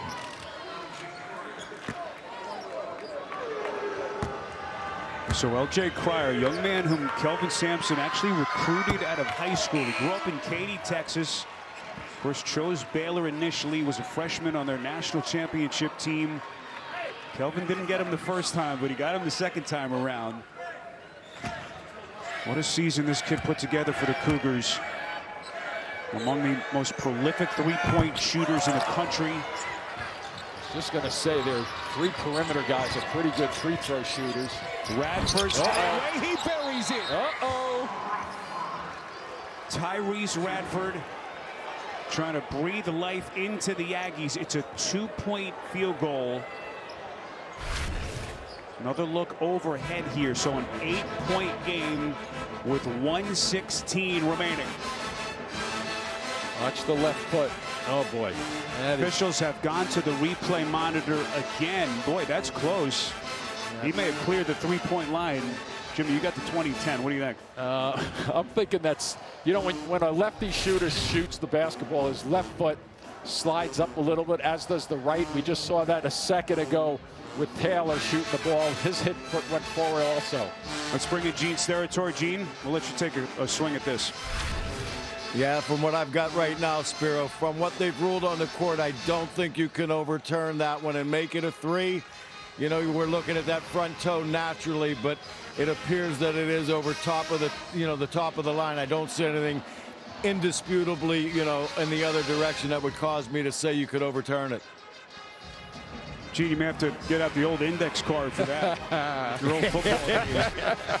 Nice call, I think Spero. you're right on that one, Spero. Yes, Hey. Gene, you know what's interesting, though, too, on the three is that the previous one by Taylor, he missed it by maybe three inches. That one, less than an inch, would have put two more points up on the board for Texas A&M. Really would have made this game interesting. Marcus Pettigrew telling Yes, him you're right they, on that too, Jimmy. they did not have enough to overturn. We thank Gene for hopping on with us. So two-point field goal for Radford. Inbound. Oh, he stepped out. out of bounds. Uh, Taylor jumped him, squeezing him along the sideline. And she turns the corner. I thought he was going for the foul right there. He reaches over. With the assist from the Aggies bench, the officials make the call. Taylor with a quick hitter. He's going to fire. Oh! Buries it. I knew he wouldn't go away. It's a five-point game. Contact here as Sharp is knocked to the deck. Boy, you talk about getting to a spot and getting a shot off in a hurry. Look where he starts that shot. Two or three strides behind the three-point line. But he knew exactly what to do, and there's that rotation I've been referencing before. As good as anybody I've seen. Again, double bonus for both teams from here on out. So two free throws coming up for Sharp. Keep in mind the first meeting between these two teams, that furious second half comeback by the Aggies, down 21, tied it. As we take another look at that little sequence, the contact from Taylor Kind of interesting, too, because it looked like Sharp started by putting his right arm around him. Watch the right arm. The officials have gone to the replay monitor to determine if there was anything extra from Sharp. Then our crew here, Marcus Pettigrew, Lee Cassell, and Jeb Hartness. Gene, what do you think? I, I, think you've got a common foul on on uh, Texas A&M on this one, Spero. I know he's swim moving a little bit sharp is, but I've got Taylor's right, you know, left arm around that waist, and then when Sharp starts the spin move, you already have a restriction. And Gene, when they go to the monitor right there, they're not looking to make a, a call right or wrong on that particular play. They're looking for something extra. Yes, most definitely, Jimmy. You're looking for some type of a hook and hold, a pin restriction, something to that level. And as we've seen on the replay, nothing rises to the level for that. So we go with the common foul. Yep. Thanks, Gene. All right, so Emmanuel Sharp, 24 points, 6 of 12 from 3. See what he's done at the free throw line. This young man has not played a bigger game in his life when you consider the stakes. And a trip to the Sweet 16 on the line here in Memphis. Remember, he's the one who hit that big three late in the first meeting between these two teams in Houston. And Sharp, a new career high with 26. They got to go quicker than this right here. Taylor trying to fend off Cryer. Oh, and he's fouled. Wow. Behind the line, too. Unbelievable. There's still 55 seconds left. It seems like the clock hasn't really moved much.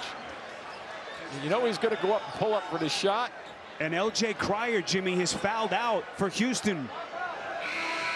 What a potential swing this is. Clearly got him across the right arm.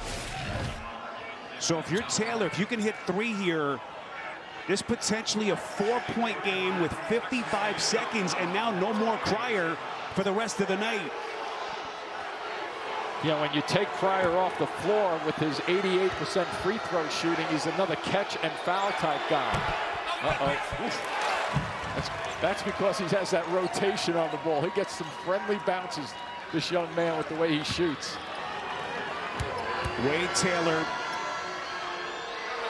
from Dallas trying to will his Aggies back to his hometown and the Sweet 16 if he can somehow bring them back.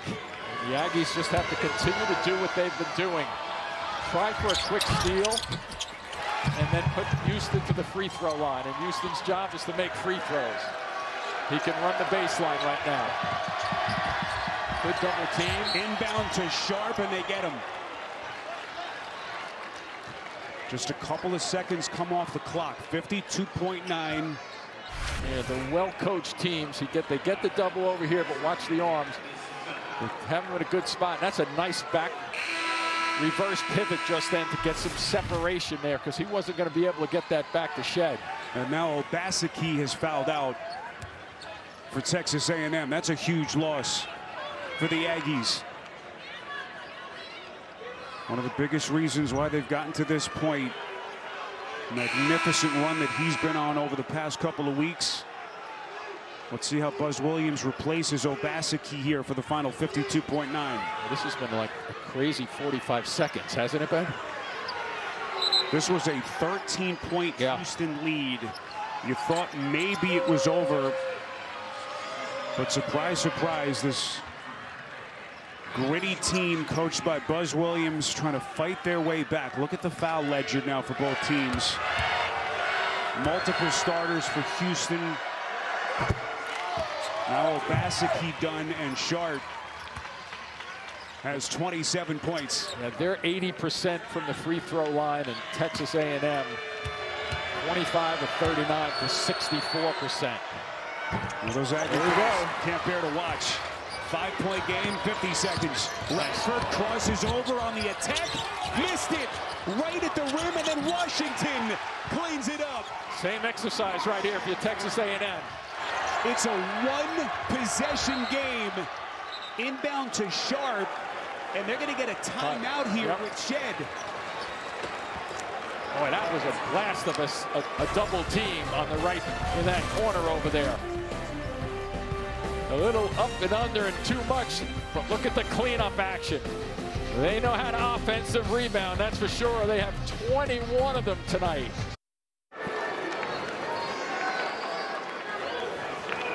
There's your game reset. 42.1 seconds left. Double bonus for both teams. One timeout left apiece. LJ Cryer has fouled out for Houston. Huge loss for Kelvin Sampson and his staff. It's a battle of attrition at this point. So we got a fresh, was it a timeout? They get the 10 seconds to get the ball up. If I'm one of the play, Texas A&M players, Spero, real fast, I'm telling the officials we're going in for a double team, but we're going in because we have the possession arrow. We're going in for this, the double team, I mean the, uh, the jump ball type of situation, the tie-up. So I'm not, I'm telling them that just because I don't want to give up a quick foul. A 13-point Houston lead is down to three. And now the Aggies drop back. It's a one-possession game here in Memphis. A tough decision to make, too, if you're Buzz Williams here. Play it out. Jamal Shead, the player of the year in the Big 12. Holding the rock for the Cougars here at 10.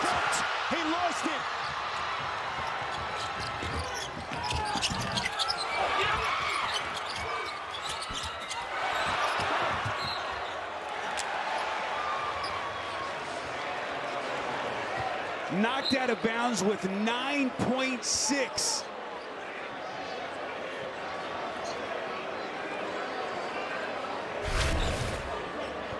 Little off balance here. Well defended. Tough shot again. And they go to work on the glass. Another opportunity there, just a little too long by Radford. And he seems confident it's Texas A&M ball, but he doesn't have the whistle. Officials once again going to the replay monitor. Who touched it last? Is that number 11? Is that Dunn who got his left hand on it?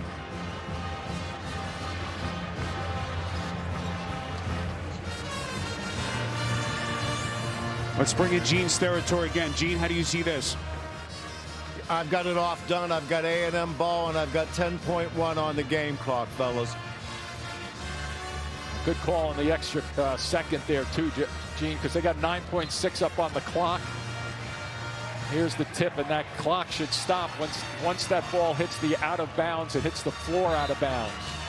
Looks like the officials will confirm it will be Texas A&M basketball. 10.1 on the game clock. And keep in mind, Spero, that Kelvin Sampson, when he's up three points, he doesn't like the foul in these situations. He likes to play it out. Here's the ball going down, and 10-1. 10-1's a good call. So he doesn't like the foul in these situations, is what he, he mentioned to us. So he, and I don't blame him for believing in this defense, especially with the way Texas A&M re rebounds if they go to the line for a second opportunity. Unless Buzz is getting out here on the court to play, which I don't think he is, they're calling the timeout. Buzz Williams will take his final timeout and let that drama build a little bit more here in Memphis. Wade Taylor, one point in the first half, 15 in the second half. And this is what they're playing for. A trip to Dallas in the Sweet 16 where the Duke Blue Devils await. And people may ask, that can Houston that averages 73 points on average score? Yeah, they put up 86. Although Texas A&M got to give them credit. They fought against a great defensive team. This is just what we anticipated, a terrific battle. Jim, take me into the mind of Buzz Williams. What are you thinking about here on this throwing? You know, it, it's you have the opportunity if you get a quick slice to the basket to get two. If you get it within two or three seconds, I'm guessing though that they're probably going to go for three because Houston is a very good free throw shooting perimeter team. If They get the basketball, they could get down and seal it. So it's this is the toughest choice that he has right now. And if I were in this situation, I don't know if Houston's going to give up the easy one, the cut to the basket, but they're also going to defend the perimeter. So I'd be looking for a perimeter shot with some secondary screen set. So Buzz look, Williams. yeah, so look for the three on this one with the screens. And remember, this guy right here has struggled all night long. Did they set a double screen for him to find and try to trigger him? And 10 seconds left. This is where dreams are made. There he is. In the, he went to the left corner. Radford throws in. They get it to Taylor. He's going to fire. No. Taylor the rebound back. The flick misses. One second.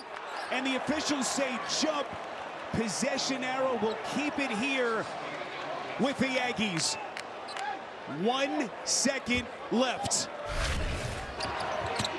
So Taylor got a couple of them. I wouldn't say they're good looks because they were guarding the perimeter, but Kelvin Sampson doesn't foul when you're up when he's up three points, and he lived up to the strategy that he maintains. Looks like they're going to put a little bit of time back on the clock now. 1.2 as Kelvin Sampson takes his final timeout. So this is a good decision with the catch. Garcia tries to get it to the shooter, and you can tell with that ball just a touch long. Boy, Jimmy, it was on line. Yeah, and this one was off left. Remember, the Aggies are out of timeouts. So Taylor frantically just trying to get it back up quickly. And now one last timeout huddle for both of these two coaches. Texas A&M 6 of 18 shooting the three. Remember, they were one of the worst three-point shooting teams in the country up until the last month or so. And do they have some late game magic left up their sleeves? You know what I'm thinking too, Spero? I, I just mentioned a couple of times that Kelvin Sampson does not like the foul. But if this ball comes in, if you could time it with the, the catch and foul real fast, I'm not so sure he's going to take a chance of that with the way he believes in what he, he normally does. So somebody, and this is, I mean, you could set all the plays in the world. If your primary option is closed down, whoever gets it has to let it fly. For the drama of this tournament, unlike anything in sports, 1.2 seconds left. Texas A&M. Here's Taylor, keep in mind. Race to that corner. Radford, the inbounder, looking. The bounce. Garcia. We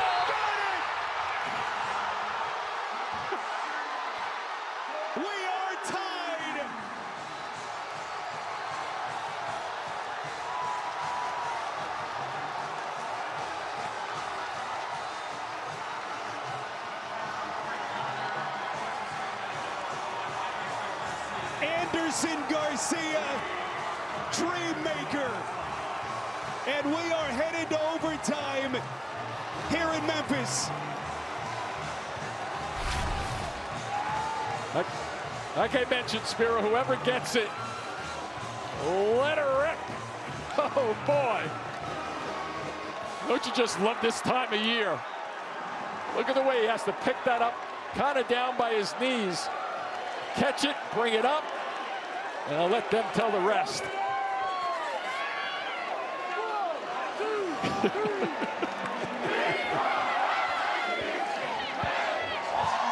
oh, man. Unreal finish.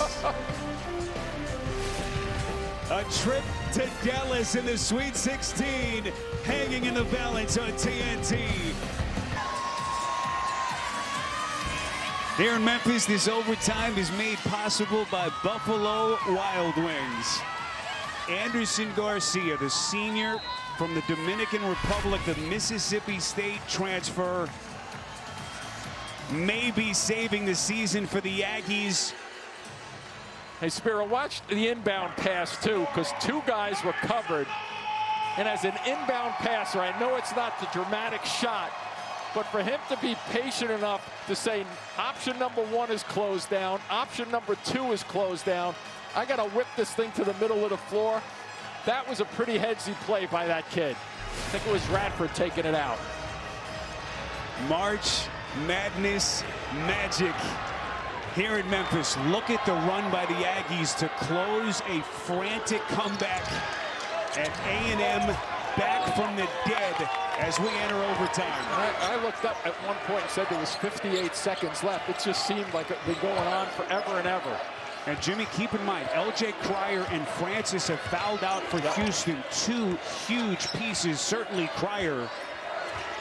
Yeah, foul, Fouls on personnel now are tough. Shead misfires. Watch out. Roberts, Oh, the boy. save. Boy, he looked like he was out of bounds maybe.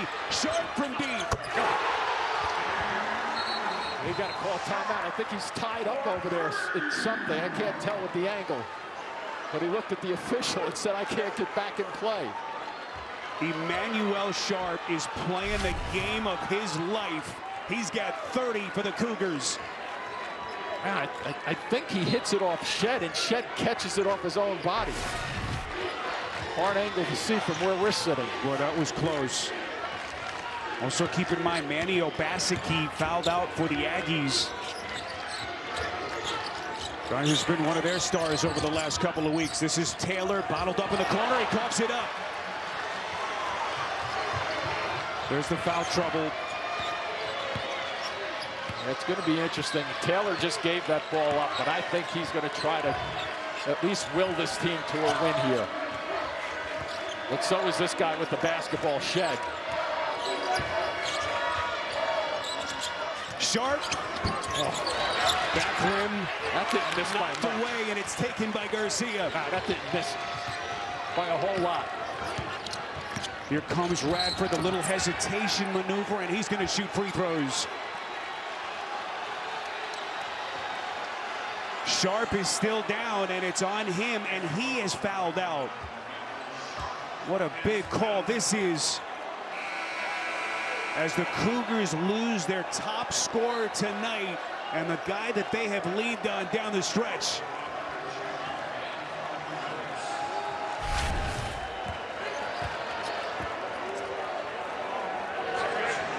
And for the first time tonight, Ramon Walker, who returned to the lineup for the first time in a month in their first round win over Longwood, is into the game. Hadn't played tonight. The lateral meniscus tear in his knee. Played more than 15 minutes the other night. And suddenly thrust under the microscope here in overtime. And Jimmy, now it's really a battle of attrition. Radford goes one of two. It's a two-point game with 120 gone by in overtime. Told you what's at stake. Winner here advances to Dallas to take on Duke. Boy, a different look without the shooters out there, right? So Sharp and Cryer, who have scored 50 tonight between them, are both done for the night. Where do they turn? It's Yeah, this is who they got to turn to. Let's see if he's going to shoot it. Three seconds. Crowded by Taylor. He fires, and he is fouled. Unbelievable. That's just a real bad decision by Taylor. He should have been aware of the shot clock situation and did everything he possibly could to get away from this shot. It's going to be a four shot. Let's see. He comes in, he starts reaching a bit, and I think he gets body on Shead right around the waist. So they bail out Shead. Three free throws. Jamal Shead, by the way, who's played the entire game so far, misses on the first. Sharp, 30 points if you've just hopped on with us. Seven threes tonight. And now the hopes and dreams of this Cougars team resting squarely on the shoulders of Jamal Shead.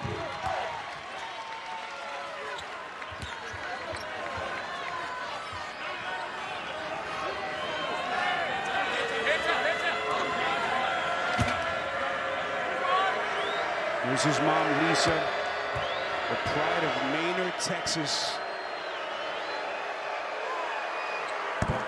Hoping to get his Cougars to Dallas. Four-point game.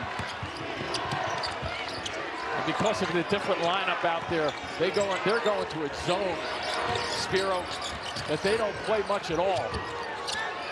Still plenty of time to shoot. Taylor shoots over two. A little bit of a force, and Walker the rebound. He had somebody on the left, too, that he could have dished that for. The key is not to try to do too much if you're Taylor and try to make up for a bad 4 for 23 night. Fine line between trying to be Yeah. aggressive and some of the decision making down the stretch. 234 left. This guy knows what to do with the ball. Uh. Mylik Wilson makes it a six-point game. 2.20 left.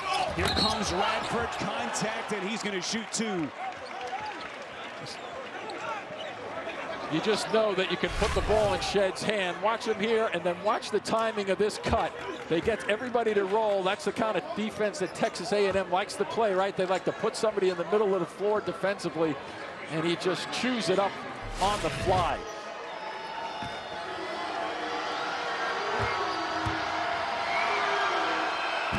Oh. Critical miss yep. by Radford. Texas A&M has been outscored in overtime 7-1 with 2.19 left here in Memphis. And if the Aggies lose this game, it'll be the free throw shooting, Jimmy, that they talk about. 26 of 42. Just a little over a 62% clip. Who's going to get the assignment? It looks like Washington's going to continue to get the assignment. Remember, he's 6'7". I think Shead believes in his mind that he can go by him when the opportunity arises. Now they've switched off, and now they're back into it. Look at this.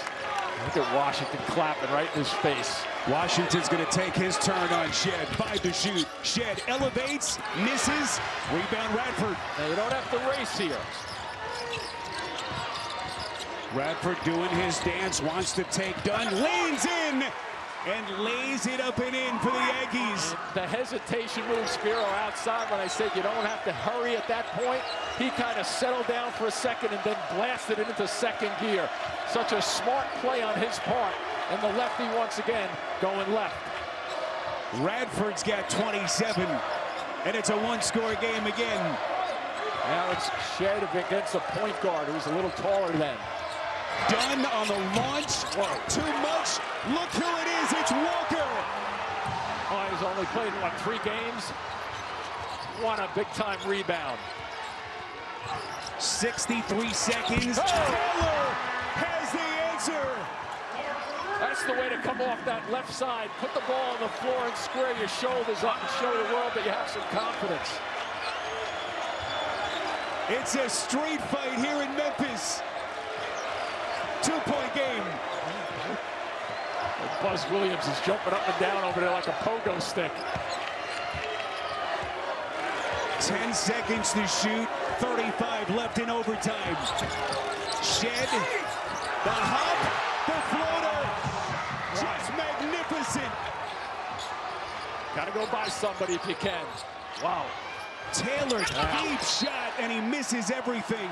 I don't like that one. Watch the brilliance of Shead here. He understands the shot clock. When this ball's in the air, just take a look. He's waiting, waiting, and now all of a sudden, watch the big hop. And he gets the ball in the air, and boom, finishes it off.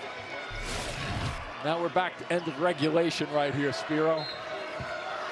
25.1. Wade Taylor, 5 for 25. He's 3 13 from deep. Here comes Shead. They've got a foul quickly. Garcia gets to him with 21.5 left. Well, they tried to foul in the back court, lost a couple of seconds there in that exchange. Mm.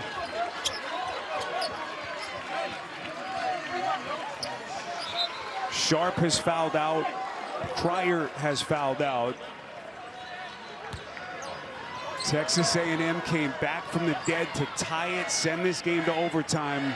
But boy, they're going to need another miracle here with Shead trying to turn out the lights at the free throw line.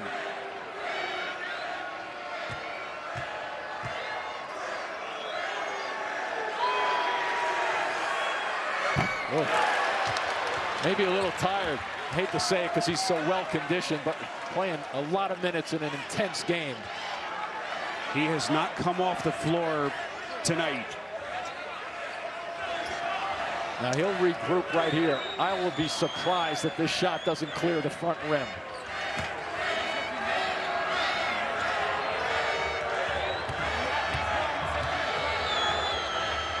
He's led this team to 31 wins this year. Can he get them one more? One for two, five-point game. And now Kelvin Sampson's going to take a timeout. And everyone's going to catch their breath. Final seconds in Memphis. Jamal Shead trying to will his Cougars over the finish line and on to Dallas. There's your game reset, 21.5 left in overtime. Kelvin has taken his final timeout. Buzz Williams has one left. Texas A&M with an incredible 13-3 run at the end of regulation to send this to overtime. Buzz Williams trying to get the Aggies back to the Sweet 16. But have they run out of time here against the big mighty Cougars from Houston? Yeah, I don't think they give up a layup that easily, so we're going to see what the decision is. Here comes Yeah. Taylor. They get him from the back. Some teams, Spero, give up that layup pretty easily, but did you see how they closed after the foul? You knew they weren't going to give up an easy one and just settle with a three-point lead. Watch them from behind here. I think it's, is it Shead who reaches in first? It is indeed Yeah. Shead, and he is fouled out with 18.2 seconds left. And Houston holding a five-point lead. And they did that in three seconds, by the way. They pushed that ball up the floor. And that's a push. You see the hand on the hip. You're guiding him away from the basket. Even though it's a clean block from behind, the foul occurs before that block. This makes it interesting But with boy, I that was just gonna shed, say huh? that adds to the intrigue here. So Shead joins Cryer and Sharp on the bench, and now Ryan Elvin, Little U senior, fourth year walk-on, is going to check into the game. How about this spot for that young kid uh, with 18.2 left? Here's Taylor at the line. Well, if he can make them, and then you have your choice where you want to send this ball.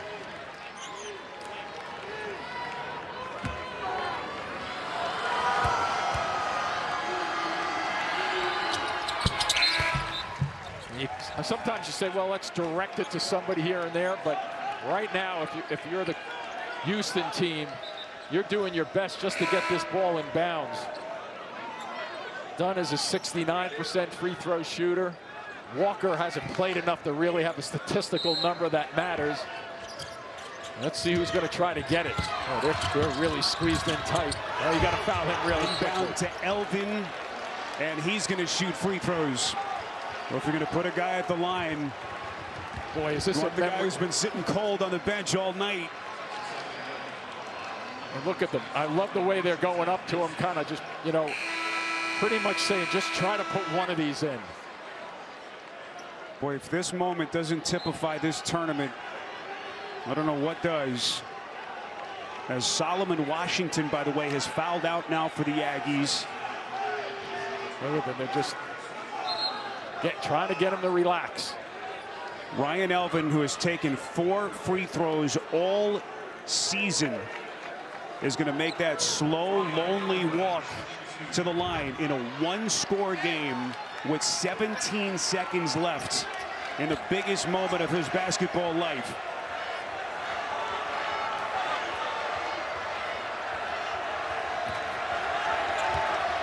He's appeared in 19 games. Oh. And it's still a one-possession game. All right, it wasn't a bad shot for a miss. At least it was long, Spero, right? A lot of times you come in situations like that, you come up short. So the fact that he went long, this should relax him a little bit more. Boy, he got one. Four-point game. Keep in mind, Shead has just fouled out. They roll it into Radford, and here we go. Here comes the Aggies star, and Buzz Williams takes a timeout. Interesting. On the run, he's going towards the basket. I think it might have held off on that one, but he's the coach. And now both teams are out of timeouts. Every time we have thought that the Aggies were done, they have fought back. This was the end of regulation. Andersson Garcia breathing life into A&M and sending the game to overtime in a wild finish to regulation.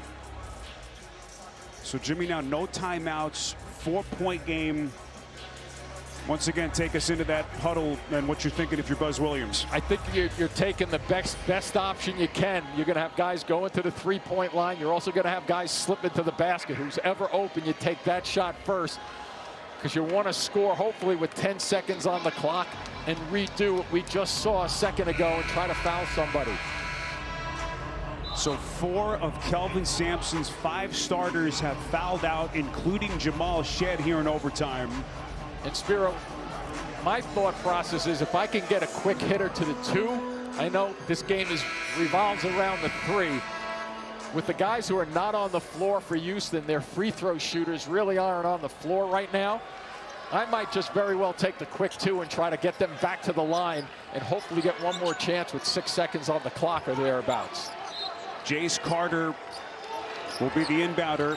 13.6 Inbound Radford elevates.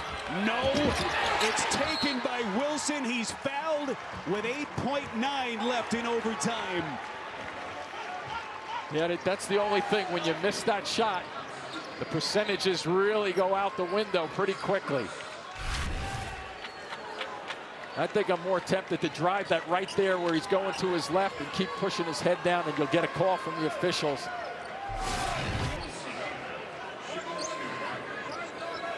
So Mylik Wilson now to the free throw line. With double transfer.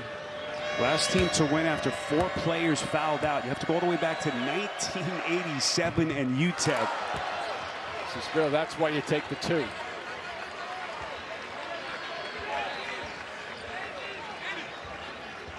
Now you have a 99-97 game if you could get the two. I'm not saying you would have gotten the two that easily.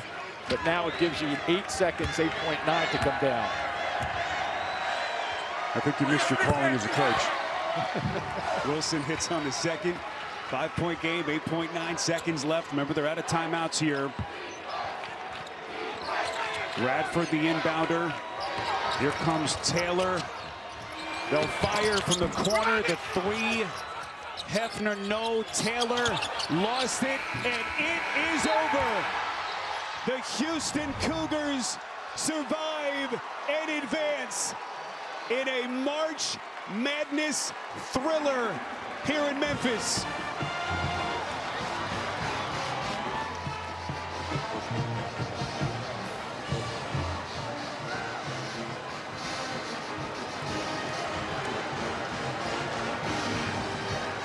We expected a war between these two teams and that's exactly what we got. As the Houston Cougars are headed to Dallas at a Sweet 16 date with Duke.